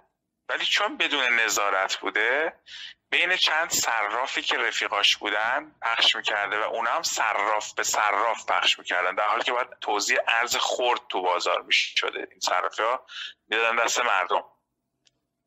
و این باعث شده که افزایش نرخ ارز تا 18 هزار تومن و 20 هزار تومن زیر سر معاونت اقتصادی وزارت اطلاعات بوده در اصل که عاملش سالار آقاخان بوده.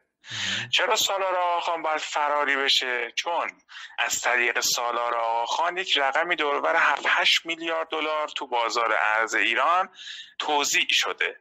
و کلانهای مبارز مفاسد کلان اقتصادی که تو بازار وجود داره از طریق بازداشت سالار که یه پسر جوونه قطعا لو می‌رفتن. یعنی بچه اگر تحت فشار می قرار می‌گرفت خود ادیبم لو می‌داد و خیلی آدم های دیگه. این وقتی که رقم رو داریم بیشتر از 100 میلیون دلار صحبت می‌کنیم یه پسر 28 ساله اصلا سایز 100 میلیون دلار نیست. خب این اصلا یک نفر اصلا 50 ساله هم نه یک نفر نمی‌تونه این کار رو هندل کنه. چه واسه 4 میلیارد دلار. لذا یک تیم تعداد زیادی آدمن که همشون آدمای درشتی هن. آدمایی کسی که می‌تونه 100 میلیارد 100 میلیون دلار یعنی هزار میلیارد تومن رو هندل بکنه. 100 میلیون هزار میلیارد 1500 میلیارد تومنه. کسی که می‌تونه همچین چیزی رو هندل بکنه خدا تا ملک هزار میلیاردی داره یک آدم درشته.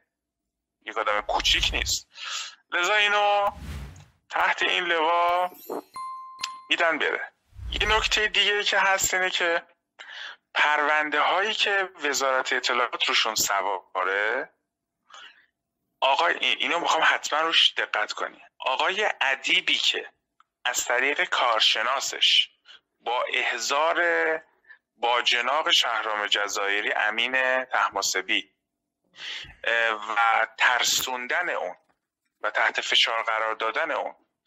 یوزر پسورد آیکلود موبایل شهرام جزایری رو می‌گیره که بتونه تمام مکالماتش رو روی آیفون شنود کنه. غیر از این که حالا تحت تلفن شنود بوده. و بتونه لوکیشن شهرام رو داخل کامیون به قول خودشون تو مرز بازرگان بزنن.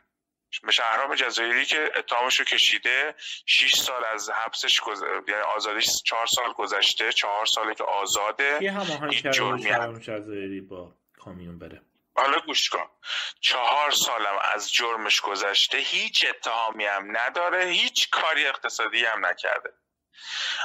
ادیبی که روش این سوار تا توی اون کامیون چطور ممکنه؟ یک پرونده باز داغ فعال در حال تحقیقاتی که متهم ردیف اولش بزرگترین اخلالگر اقتصادی بازار ارز بوده. خب بازداشت بوده.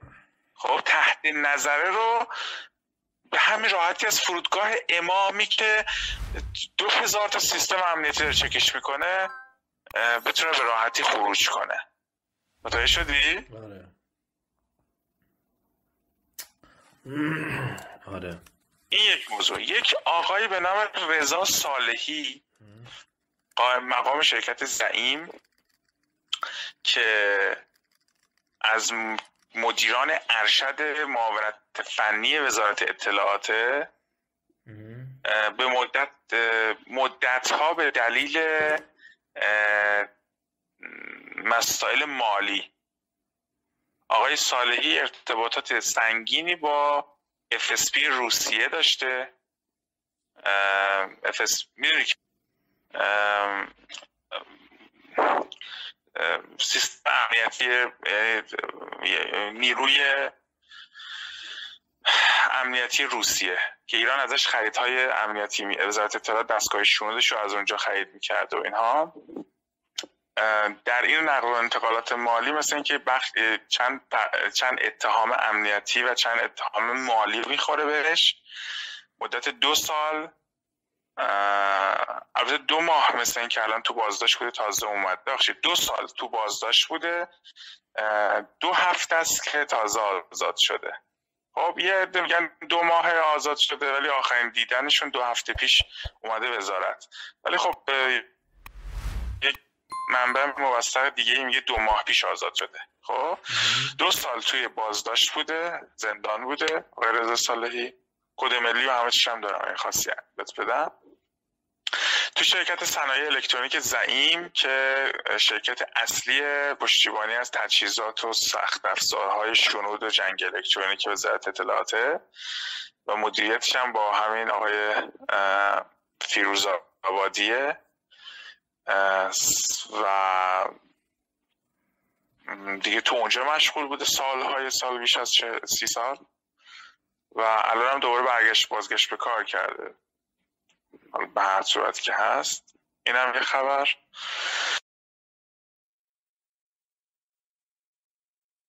چی؟ برادر خانم دکتر مشیر در استانبول تو منطقه آکسارای خب یه خونه داره. و یه دفتر داره تو استانبول. که اونجا با یک فردی که فکر کنم تو میشه فاضل حسینی میشنست تو؟ نه. خب. با یک فردی به نام سید محمد فاضل حسینی که بر چهار تا برادر شهید شدن.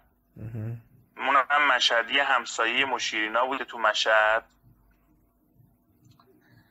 و آدم فساد اخلاقی شدید داره و فساد اقتصادی.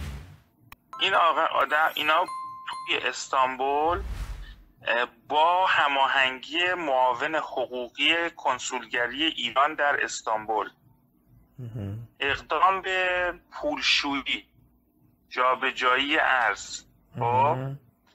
و شناسایی یک سری از عوامل حالا ایرانی خارج از کشور موثر در امور اقتصادی یا حالا چیزایی دیگه می‌کنن. خب؟ بعد یه یک سری یورو و دلار جعلی یعنی فیک های کپی. خب؟ حالا دقیقش رو نمی‌دونم واسه چه من چه منظوری ولی انتقال میدن انتقال میدن به ایران. به, ایران انتقال میدن نه به بیرون ایران. خب, خب. حالا مثلا می‌برن می‌ذارن تو چه می‌دونم تعذیرات حکومتی اون اصلی ها رو میارن بیرون می‌برن می‌برن تو ستاد قاچاق کالا از اصلی ها میارن. اینا دقیقش نمی‌دونم ولی اینا رو که دارم بهت میگم اینا چیزایی بودی که من خودم شاهدش بودم. یه در رابطه با اون بنیاد خیریه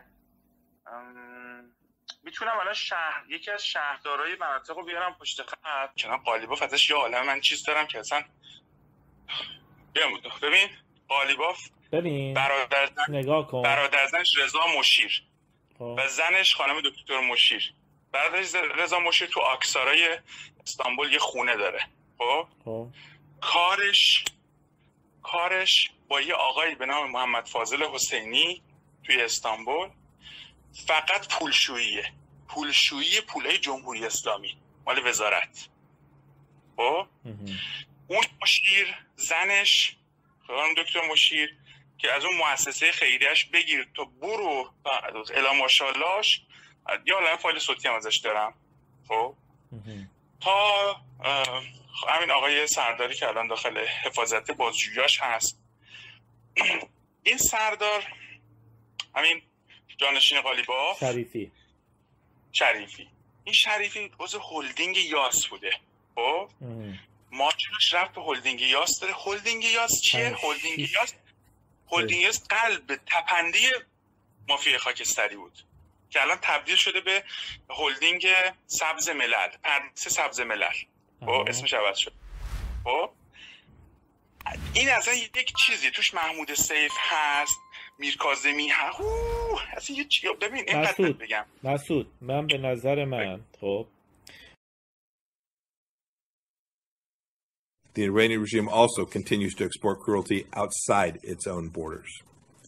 Last week, an Iranian dissident, Masoud Malvi, was assassinated in Istanbul after he defected to Turkey from Iran. The killing of Mr. Malvi is yet another tragic example in a long string of suspected Iran backed assassination attempts outside of Iranian soil. The regime's brutality and immorality know no international boundaries. To the courageous people of Iran who refuse to stay silent about 40 years of abuse by the ruling regime, I say simply this the United States hears you, we support you, and we will continue to stand with you in your struggle for a brighter future for your people and for your great nation. وزارت دارم. خب اوکی. نه نگاه کن. وزارت یک معاونت زد داره.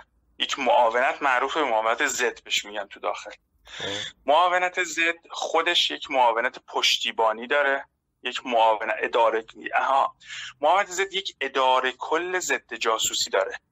اداره کل هماهنگی داره اداره کل پشتیبانی داره اداره کل بیسیم که معروف شده به ارتباطات داره. دیگه باید عرض بکنم که اداره عملیات داره.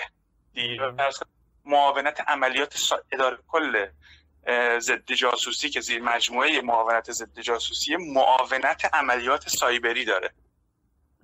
خب؟ بعد ساختار چجوریه؟ مثلا تو شهرداری تو گاهی تو شهرداری منطقه چهار می‌بینی که یک واحد آیتی داری. با خب، معاونت آیتی این منافاتی با اون سازمان فناوری اطلاعات شهرداری نداره. لذا تو واجه هم همینه. یعنی معاونت 332 که معروف به معاونت عملیات سایبری اداره کل 332 هم زیر مجموعه اداره کل 332 اداره کل 332 که کل ضد جاسوسی هم این مجموعه 332 که میشه ما فنی مهندسی. و همین شو آره. یعنی هم تجهیزش از اونجا می‌گیره هم سرویسش به اینجا میده. کاری که معاونت عملیات سایبری می‌کنه با کاری که معاونت فنی مهندسی می‌کنه یعنی مثلا معاونت ضد جاسوسی اداره کل عملیات سایبریش عملیات سایبری داره کل ضد جاسوسی. کارش چیه؟ کارش اینه که مثلا تمام خطوط هواپیمایی خارجی رو حک می‌کنه. تمام هتل های مثلا ترکیه سازمان یو ان سازمان ملل اداره مهاجرت کشورهای اطراف نمی‌دونم. دیگه خدمت سیستم اپراتورهای تلفن همراه اطراف. چون اونا که بهشون سرویس نمیدن سرویس اطلاعاتی که. به صورت غیرقانونی دسترسی می‌گیرن. ابزارات جاسوسیشون از چین و روسیه از FSB روسیه و چین می‌گیرن. و یه بخشم خودشون می نویسن من ببین کل ابزارات وزارت دست منه. رو هاردم دارم نرم افزاراشون همه رو. بعد مثلا می‌خواد ببینن که مانیتور می‌کنن که چه تعداد آدم رفتن تردد داشتن به ترکیه. با چه پروازایی این آدما ترکیه رفتن پاسپورتاشون رو عوض کردن با چه پروازایی با چه پاسپورتایی رفتن کشور دیگه. خب؟ یا مثلا دوربین هایی که دور سفارت های آمریکا، اسرائیل و انگلیس در تمام کشورهایی که ایران سفارت داره. اولویت هم با کشورهای دورمونه مثل ترکیه، عراق، افغانستان، امارات. خونه هایی خریدن. حالا سپاه همین کار کرده اطلاعات سپاه. مجزا. خونه خریدن. مانیتور گذاشتن. تیم تمی متعقب مراقبت گذاشتن. دم سفارت تو کافی شاپ نشسته داره. فیلم برداری عکاسی می‌کنه. ورود و خروج ها رو به درپای سفارت آمریکا سفارت اسرائیل مانیتور می‌کنن با دوربینای قوی. داشته کی میره تو کی میاد بیرون. ایرانی میره تو یا نمیاد میاد بیرون. دیگه به عرض بکنم که بیمارستان ها نیروگاه ها اینا رو هک می‌کنن. بعد لابلای این data ها وقتی که لازمه رو case ی سوار بشن search می‌کنن می‌بینن که خب بله مثلا آقای علیرضا ساسانیان با هواپیمایی Turkish Air به مقصد مالزی تاریخ فلان با شماره پرواز فلان رفته. اونجا رفته تو هتل Crown Princess. این registration ش از این ساعت تا این ساعت اونجا بوده. اگر بخوان رو سوارشن اون موقع ممکنه دوربینای هتل رو بزنن.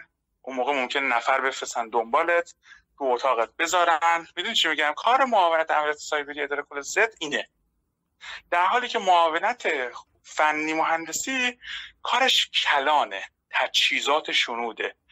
تو پروژه سازمانی آماد تو سپند سازمان پژوهش نوآوری دفاعی. مرد رباتی رو درست کردم. برای تو رفتن تو لوله های نفت همزمانی که تو قرارگاه بودم. من هم توی سپند بودم هم توی شرکت پنها هلیکوپتر سازی بودم. تو پنها قرارگاه رفتیم. خط نقشه های ساخت هلیکوپترهای بل و رابینسون رو حک کردیم.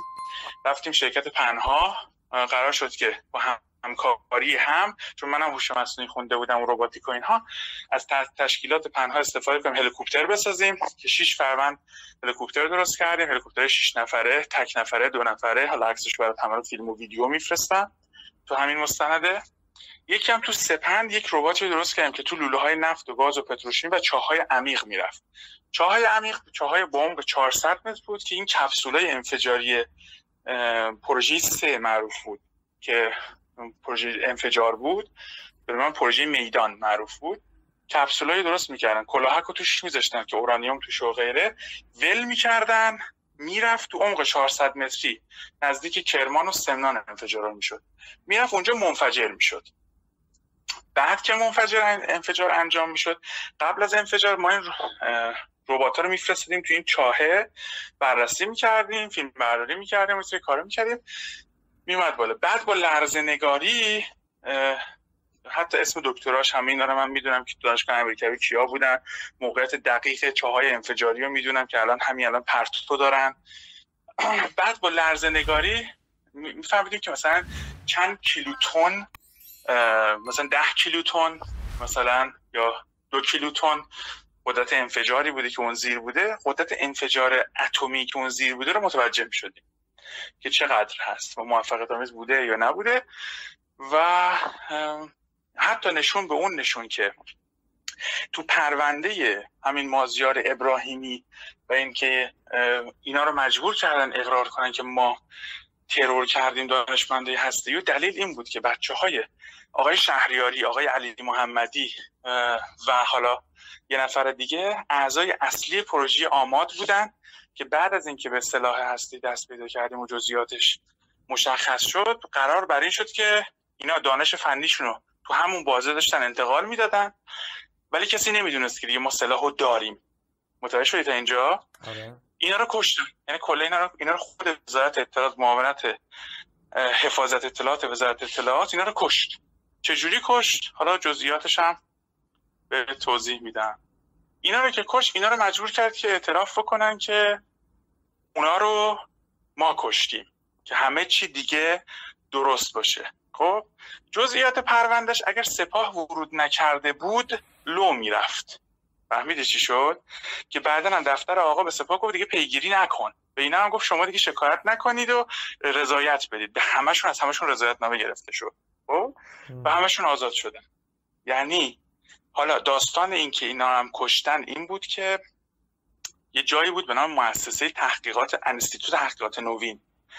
انستیتوت تحقیقات نوین جایی بود که کارهای تحقیقات پلوتونیوم تو اونجا انجام می‌شد و حدود 60 نفر آلودگی پلوتونیومی پلوتونیومی پیدا کردن که به همشون توی بازه زمانی مثلا 60 روزه 50 روزه مردن. و کشته شدن. یعنی پوستای بدناشون آب شده بود. یه وضعی. نور که بهشون می‌خورد جیغ می‌زدن. بعد این هم پرونده هاشون هستا خب؟ حتی من الان پرونده احمد رضا جلالی رو دارم. تو چیزی رو تو هیچ جا تو ندیدی که نظام بیاد تایید کنه که فعالیت نظامی هسته ای داشته. درسته؟ آره. در پرونده احمد رضا جلالی وزارت اطلاعات رسما گزارش کاملی داده که برای پروژه آماد مراکز انفجاری کار می‌کردن. برای ساخت سلاح ای تمام این بچه هایی که تو مؤسسه انستیتوت تحقیقات نوین بودن کشته شدن لیستشون. یعنی گزارشی که سازمان پزشکی نوآوری دفاعی به وزارت میده که این احمد رضا چه اطلاعاتی رو لو داده عینا توی پرونده منعکس میشه که من کپیشو در اختیار دارم. خب؟ که وزارت اطلاعات تایید کرده که بر روی برنامه ساخت پنج کلاهک هسته در پروژه آماد کار می‌کردن و اون اطلاعاتی که رو رفته در برای اسرائیل درسته و از طریق احمد جلالی بوده. این خیلی مهمه ها. خب؟ و دیگه خدمت حالا این جزئیاتی که من بر توضیح دادم حاشیه کار بود. در باطن کار می‌دیدیم حاج حبیب الله حقیقی که حالا اسمش آقای معطر رضا معطر دندان پزشکی می‌خوند. یه مدت معاون حفاظت اطلاعات وزارت بود الان معاون بررسی ویژه است. یا آقای احمد خزایی معاون ضد جاسوسی قبلی حجت الاسلام احمد خزایی. که این گند مازیارینا دست ایشون بود. ببینم یا وزارت مدیر کل ضد ها. خودت هم به تیمت. فکر نکن تو خارج از کشور باشی دستمون بهتون نمی‌رسه. مثل آب خوردن گیرتون میاریم. اراده بخوایم بکنیم فردا در خونتونیم. ببینه که بردار نیست. چه شما بخواید با یه کانال تلگرامی اونو به سخره بگیرید. ببینه اگر به خودتون رحم نمی کنید به خانوادهاتون رحم کنید. مثلا جلوتر فیلم هایی که برای چه موقعی هست واقعا اون مکان؟ سعی کنید با تیم اطلاعاتی در نیفتید. این برای خودتون بهتره.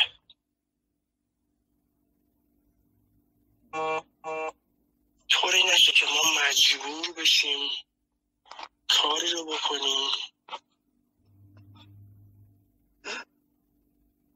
که بعدا وقتی بهش فکر می‌کنیم خودمونم وحشت زده بشیم. از کاری که با شما ها کردیم شنوی چی میگه ما چطور با آدم های خیانتکار برخورد می‌کنیم؟ ببینی دست بالای دست زیاده. ما مورد داشتیم آقای نیروی بوده ریزش داشته. خیلی هم پارتیش گلوف بوده. اصطلاحا پاورش خیلی بالا بوده. پاورش رو صفر کردیم. زیرو.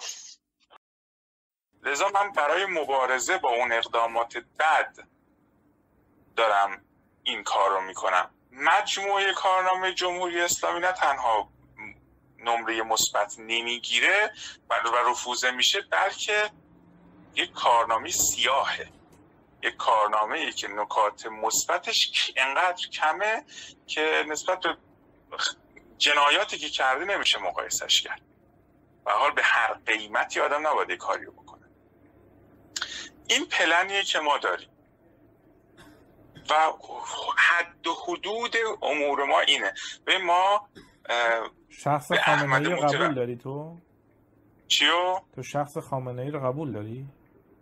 ببین مثلا شما میگیم شخص خامنی رو قبول داری یا نداری مبتنی بر آنچه ازش دیدی تو تلویزیون اینا رو میگی.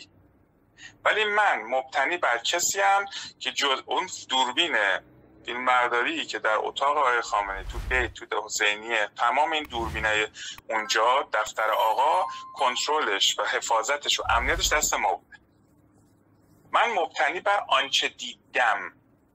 ازش. حکم منو برای قرارگاه ایشون زد. دارم میگم. آقای خامنه ای در عین ساده زیستی که داره جنایتکاره.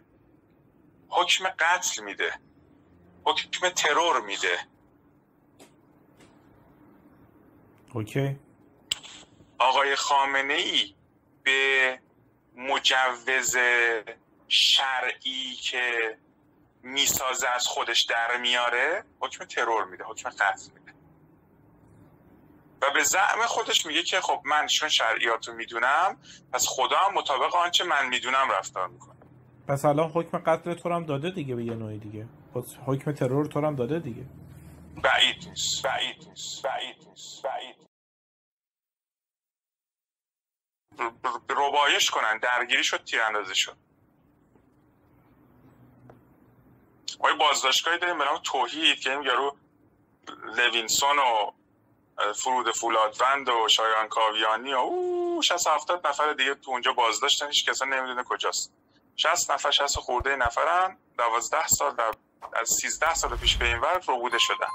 از سراسر دنیا از ترکیه از عمان امارات از جاهای مختلف. تو تهرانه؟ آره تو تهرانه. بعد این به, به کی وابسته است این زندان رو؟ واجه. چیزای مهمتر مثلا همین ارتباط آقای کمال خرازی و آقای خامنه ای با گروه بیلدنبرگ اینکه دلیل چی؟ دلیل اینکه میگن حکومت ایران انگلیس. آقای احمدی نژاد رو چه حساب میگه؟ انگلیس پشت آقای لاریجانی ایناست. چون می‌دونه پشت سر خامنه ای هم هست. چرا احمدی نژاد میگه آقای وزیر خارجه آمریکا اومد ایران؟ رفت با کی دیدار کرد؟ رفت با کمال خرازی دیدار کرد. تو اون جلسه چی گفت؟ وزیر امور خارجه کجا؟ انگلیس. آها. انگلیس. دو سه سال پیش که اومده بود ایران. رفت کمال خرازی. نرفت با وزیر خارجه دیدار کنه. رفت با کمال خرازی دیدار کرد.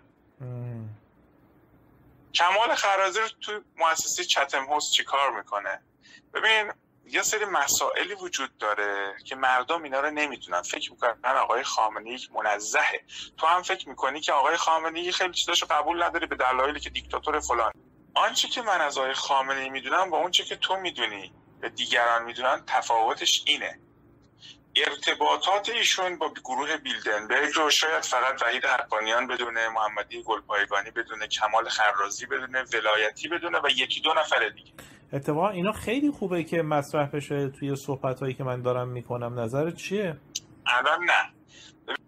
ببین ساختار قدرت رو در داخل حکومت ایران اونهایی که بیرون نگاش می‌کنن میگن اصولگرایان تندرو دارن میچرخونن.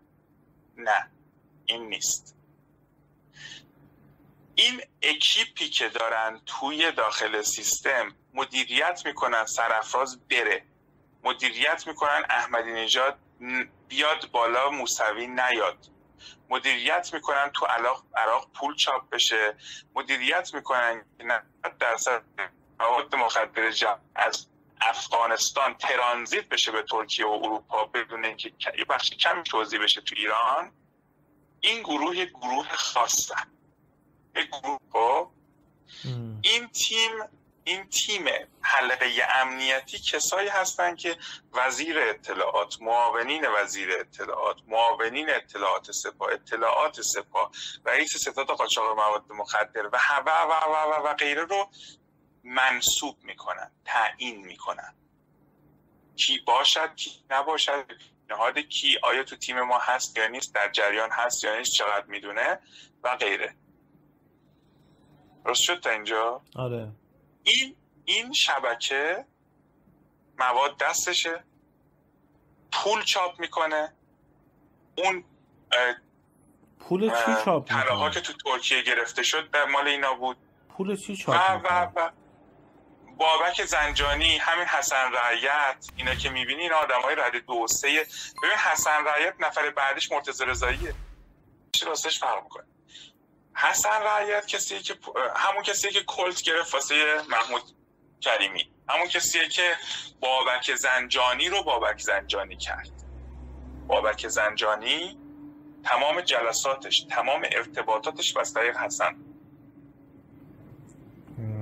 جلسش با همین جلسه معروفش با فاضل لاریجانی و این به هماهنگ کرد. همون جلسه معروفش با مرتضوی و این هماهنگ کرد.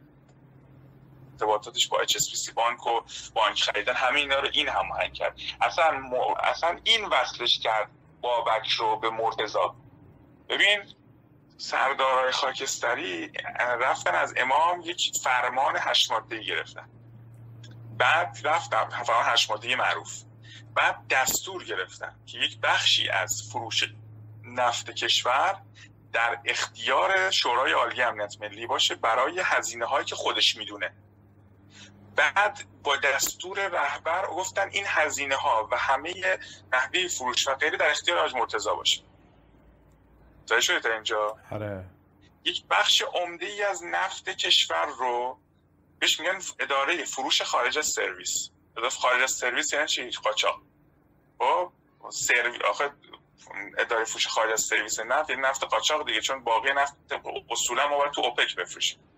خب این فروش اداره فروش خارج از سرویس کل درآمدش برای خرید سلاح تجهیز نیروهای امنیتی و و و و و, و غیره هزینه میشه. اخیرا چون درآمدش اومده بود پایین آقا دستور داد به مجلس.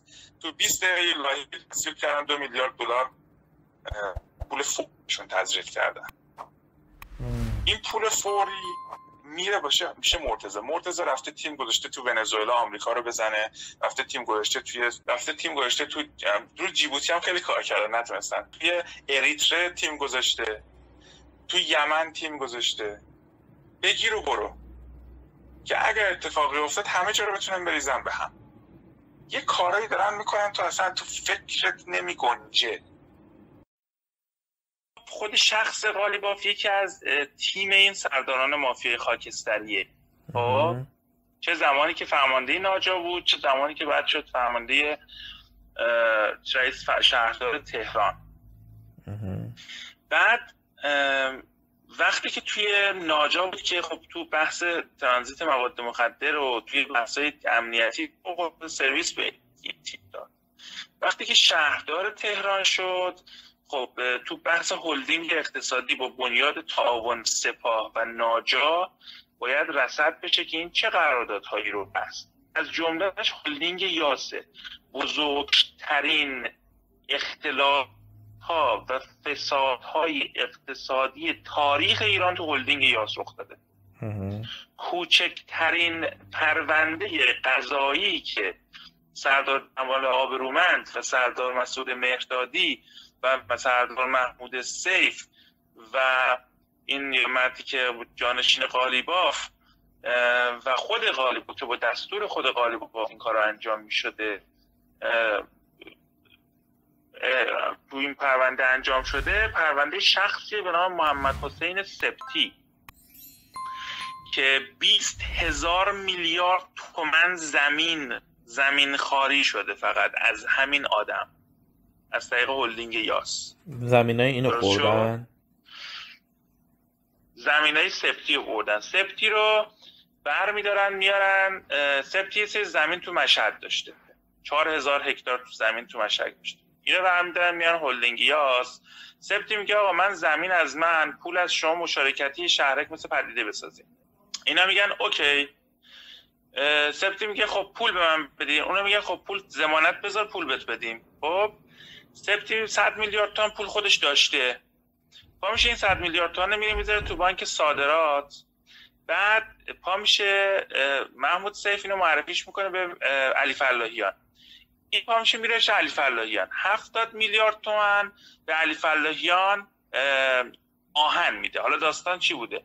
علی فلاحیان زنگ می‌زنه به مدیر عامل بانک صادرات که برکنار شد. وزیر بود قبلا جهرومی. جهرومی قبلا تو وزارت اطلاعات کارمند فلاحیان بود. فلاحیان زنگ می‌زنه بهش میگه که خب این مورد وسوق ماست و فلان و بیسار و اینها بهش زمانتنامه بانکی بده تا سقف 500 میلیارد تومن خب؟ اون میگه جهرومی میگه 100 میلیارد بیاد بذاره اینجا تا من بهش بدم.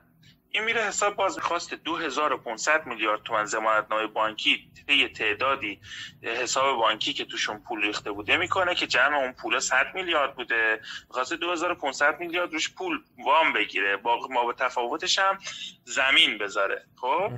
100 میلیاردش که می‌ذاره با 500 تاش جهرامی موافقت می‌کنه. وقتی که موافقت می‌کنه تو عقاریر سبتی نوشته شده که من اخلاقا به خاطر کاری که آقای فلاحیان کرد بین خودمون صحبت کردیم. گفتم که آهنالات زمینی که قرار من توش بسازم رو از پسر تو بخرم. درست شد تا اینجا؟ هفتاد میلیارد تومن از این 500 میلیارد تومن رو میریزه به حساب پسر علی فلاحیان. هیچ آهنی هم فروخته نمیشه. سوری بوده اون قرار داد درست شد؟ اصلا علی فلاحیان کارش همینه. میشینه پای منقل بافور تو اون خونه یه خونه داره هفتش تا مبل گذاشته و پرچم ایران گذاشته و این چرت و پرتا میشینه معاملات اینجوری می‌کنه. بعد تو کجاست خونه؟ چند جا داره. یه دونه تو همون خیابون تو نزدیکی خیابون الوند و آرژانتین اون برا داره. یه دونه داره تو بالا چند جای مختلف داره ولی این تو عرض کنم خدمت شما که آها بعد زمانتو که می‌گیره میره میده به هلدینگ سبز ملل که اسم جدید هلدینگ یاسه. میره میده هلدینگ سبز ملل. هلدینگ سبز ملل طبق مصوبه بنیاد تعاون سپاه چون بنیاد تعاون سپاه بانک انصار زیر مجموعش. به بانک انصار دستور داده که این هلدینگ سبز ملل هر مصوبه ای که برای کار تولیدی و اقتصادی به شما ارجاع داد شما منابع مالیشو باید تامین کنید. هلدینگ سبز ملل نامه می‌زنه به بانک انصار. فکر کن بانک انصار منابع مالی مردمه. منابع مالی این پرسنل سپاه و بسیج و اون ناجاست.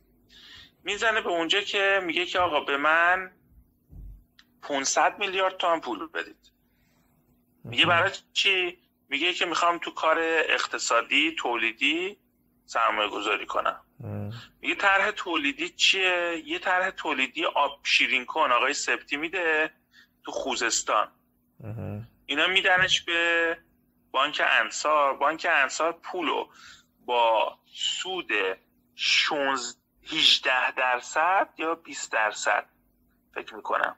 میده به به صورت وام با یک سال تنفس میده به هلدینگ سبز ملل منابع مالیشون تامین می‌کنه. بدون هیچ چک و سفته و هیچی. فقط دویته یه صورت جلسه از منابع خود سپاه میده. حالا اینجوری که مشخصه. آقای سردار مهردادی با دستور آقای سیف این پول رو در ازای زمانتنامه بانکی که از بانک صادرات دریافت می‌کنن اینا تحویل آقای سبتی میده. چقدرشو تحویل میده؟ 100 میلیارد تومن شو 200 میلیارد تومن از این پول رو بین خودشون تقسیم می‌کنن. یعنی محمود سیف مهدادی غیر غیره فیشاش هست. این بین خودشون اینو تقسیم 70 میلیارد تومن از اون 200 میلیارد تومن دیگه 300 میلیارد تومن دیگه هم که رفت دست فلاحیان خب؟ یه مدت این سود سود وامو می‌داد و کار می‌رفته جلو اونجا داشته ساخته می‌شد و این داستانا. این میگه آقا ما 2500 میلیارد تومن درخواست وام کردیم 500 تاشو دادن. خب؟ میره به بانک میگه که آقا 500 میلیارد تومن دیگه بدیم بیاین ببینید من زمین رو دارم می‌سازم. و واقعا هم داشت میساخت. از این طرف تو قراردادی که هلدینگ سبز ملل با سپتی بسته ازش گفته من سود 60 درصد ازت می‌گیرم. فهمیده چی شد؟ یعنی از اون و سود 18 درصد به بانک میده نزول داره میده. پول نزول داده. یعنی بنگاه اقتصادی که پول نزول میده و زیر مجموعه بنیاد تعاون سپاهه. خب این اسنادش کجاست؟ همینجوری که آدم نمی‌تونه حرف بزنه که. من یه بخششو الان برات میفرستم ولی پخش نکن. اوکی. خدمت دارزم که خب این ماجرا که الان این برای توضیح دادم تا اینجا تا اینجاش درسته. هلدینگ سبز ملل خب خب. نامه می‌زنه به بانک آها. آقای سپتی میگه که آقا من پول لازم دارم. شما که همه پول خودتون خوردید نامردا. خب پول به من بدید. بانکم که نمیده. وضعیت خرابه. چیکار کنیم؟ هولدینگ سبز ملل نامه می‌زنه به بانک انسا... بانک صادرات. میگه آقای بانک صادرات زینف نامه مگه من نیستم؟ میگه آره. میگه که مگه من پول نقدی نریختم داخل اونجا تو حساب؟ میگه آره. میگه مگه منو سپاه تایید نکرده شرکت بزرگم؟ میگه آره. یه نامه از سپاه میاد اونجا می‌زنن میگه که آقا ما به اون صد میلیارد احتیاج داریم چک و سفته از هلدینگمون میدیم شرکتی می‌ذاریم اونجا صد میلیارد آزاد کنیم. صد میلیارد زمانتنامه ها آزاد میشه. پنجه درست؟ خب. سند زمین رو هلدینگ سبز ملل. میگه که آقای سپتی صد میلیارد که گرفتی زمانتنامه رو هواست. سند زمین هم که باشه پیش صادرات. بیا بریم پیش بانک صادرات. سند زمین رو بزن به نام ما در رهن ما. سند 4000 4000 هکتاری رو می‌زنه که قیمت سند 4000 هکتاری 16000 میلیارد تومنه. خب؟, خب. این 16000 میلیارد تومن رو می‌زنه به نام کی؟ می‌زنن به نام هلدینگ سبز ملل. اینم تا اینجا. یه مدت که میگذره این محمود سیف و مهردادی و حاج محمد کاظمی حاج محمد کاظمی سازمان حفاظت اطلاعات که با مرتضی رضایی کار می‌کنه اینها میگن عجب خری گیر آوردیم. زمینش 16 هزار میلیارد تومان دست ماه. خودش بدهکار بانکه. درست شد تا اینجا؟ تو زمین ما پول خرج کرده. درست شد تا اینجا. به ما هم یه عالمه بدهکاره. بابت وامی که بهش داریم 60 درصد قرارداد مشارکتی که باش بستیم. فشار می‌ذارن روش میگن آقا بیا پول بده بیا پول بده بیا پول بده بیا پول بده. شبانه به صورت غیر قانونی میرن. سپتی و بازداشتش می‌کنه. آها سپتی یه شکایت می‌نویسه به دفتر آقا. یا آقا من دارم اینجا می‌سازم. داستان اینه اینا همشون رشوه گرفته اینجوری شده. شبانه سپتی رو می‌گیرن می‌برن سازمان حفاظت اطلاعات سپاه. سپتی اونجا نگرش میدارن. حاج محمد کازمی و محمود سیف پا میشن میرن بالا سرش. رئیس سازمان حفاظت با محمود سیفی که همون آقای در اصل اسم جدیدش شده محسن سجادی نیا. یعنی با اسم پوششیش محسن سجادی نیا. سیف. اینا میرن بالا سرش. ازش یه عالمه رسید می‌گیرن تو بازداشتگاه تو سلول. خب؟ ازش یه عالمه رسید می‌گیرن. تمام زمیناشو به نام شخصی خودشون می‌کنن. 20 هزار میلیارد تومن زمینا. خب؟ به نام خودشون می‌کنن و چکو سفته رو پس می‌گیرن. رسیداشون رو پس می‌گیرن. شانس این سفتی بدبخ این بوده که این چکو سفته ها رسیده رو برابر اصلش رو توی یه شعبه دادگاهی که از پردیس سبز ملل شکایت کرده بوده دادگاه درخواست کارشناسی کرده بوده اونجا بوده. خب؟ داشتیم بردیم دفتر سعید تدیون که الان فراری تو آلمان زندگی می‌کنه. سعید تدیون از نزدیکان آقای گلپایگانی خیلی خیلی نزدیک. یعنی محمدی گلپایگانی میاد تو دفترش تو خیابون آرش مینشینه. خب معامله های 500 میلیون یورویی به بالا می‌کنه. شمش پالم پالم پالم چی میگن؟ شمشه 250 گرمی طلا هدیه میده تو پاکت به آقای سالار. مدیر عامل اسبق بانکی کشاورزی و امثال هم و اینها. یه شرکت تولید قایق‌های سعید تدیون خب سعید تدیون یکی از اهرم های همین هلدینگ یاسه که مثلا اون نمایندگی مرسدس بنز سر خیابون اسفندیار رو میره می‌خره بعد میاد جابجاش می‌کنه ده برابر قیمت میفروشش به خود هلدینگ یاس. این وسط محمود سیف و غیره و غیره و غیره تو سود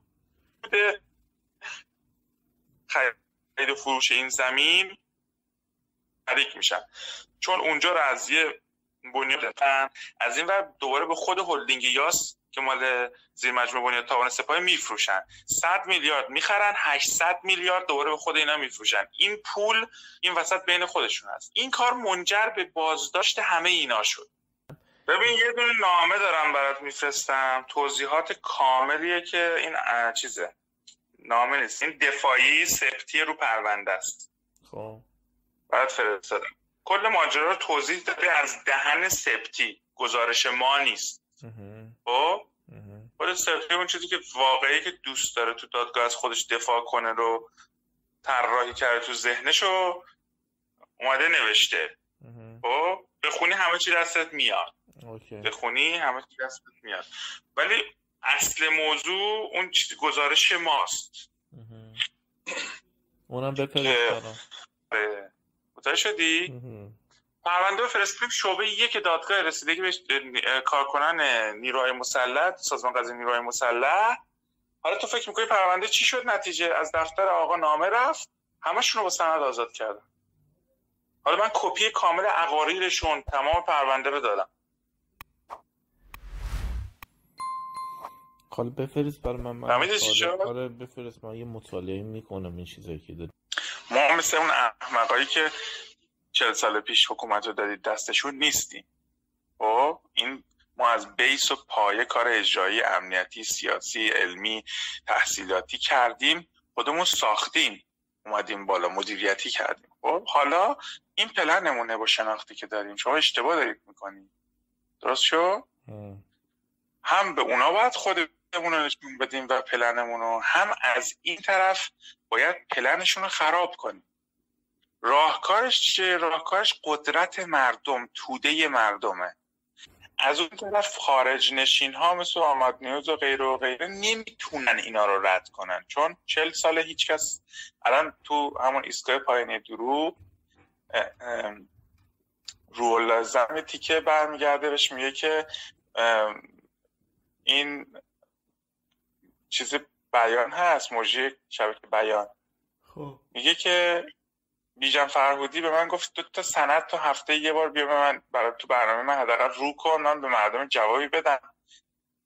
زم به فرهودی برگشته گفته کی تو این دوره زمان سند رو می‌کنه؟ تو, تو اپوزیسیون یه نفره بیار سند داره رو می‌کنه که من رو کنم دومیش باشم. بکن تو چل سال گذشته هیچ سندی نداشته رو کنه. ولی ما داریم سند رو می‌کنیم. تفاوت اینه. حالا این سند ها چون ویدیو هن حتی اپوزیسیون نمید اولش می‌خواست زیر سوال ببره نتونست. من دوتا شاید فرستادم کامل روشن چیه؟ خب نتونست زیر سوال ببره. خب که این تو علیرضا. داستان اینا چی میشه واقعا با این کسافت علی برادر علیرضا. میگم داستان اینا با این کسافتکاری چی میشه؟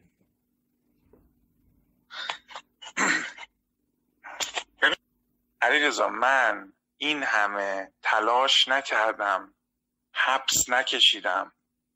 این همه خدمت به کشور نکردم. نرفتم سوریه نرفتم پاکستان نرفتم این همه بدبختی درس خوندن مدال آوردن این همه جلوی وزارت اینو اون وایسادن. نکشیدم که امروز پاشم بیام بیرون کشور بشم مثلا یک آدم عادی چهار تا بزنن تو سرم. می‌فهمی چی میگم؟ من نونم کم بوده آبم کم بوده. من اومدم کمر بستم جمع کنم قائله رو. تشم وایستدم می‌خوان بکشنم می‌خوان هر کاری بکنن.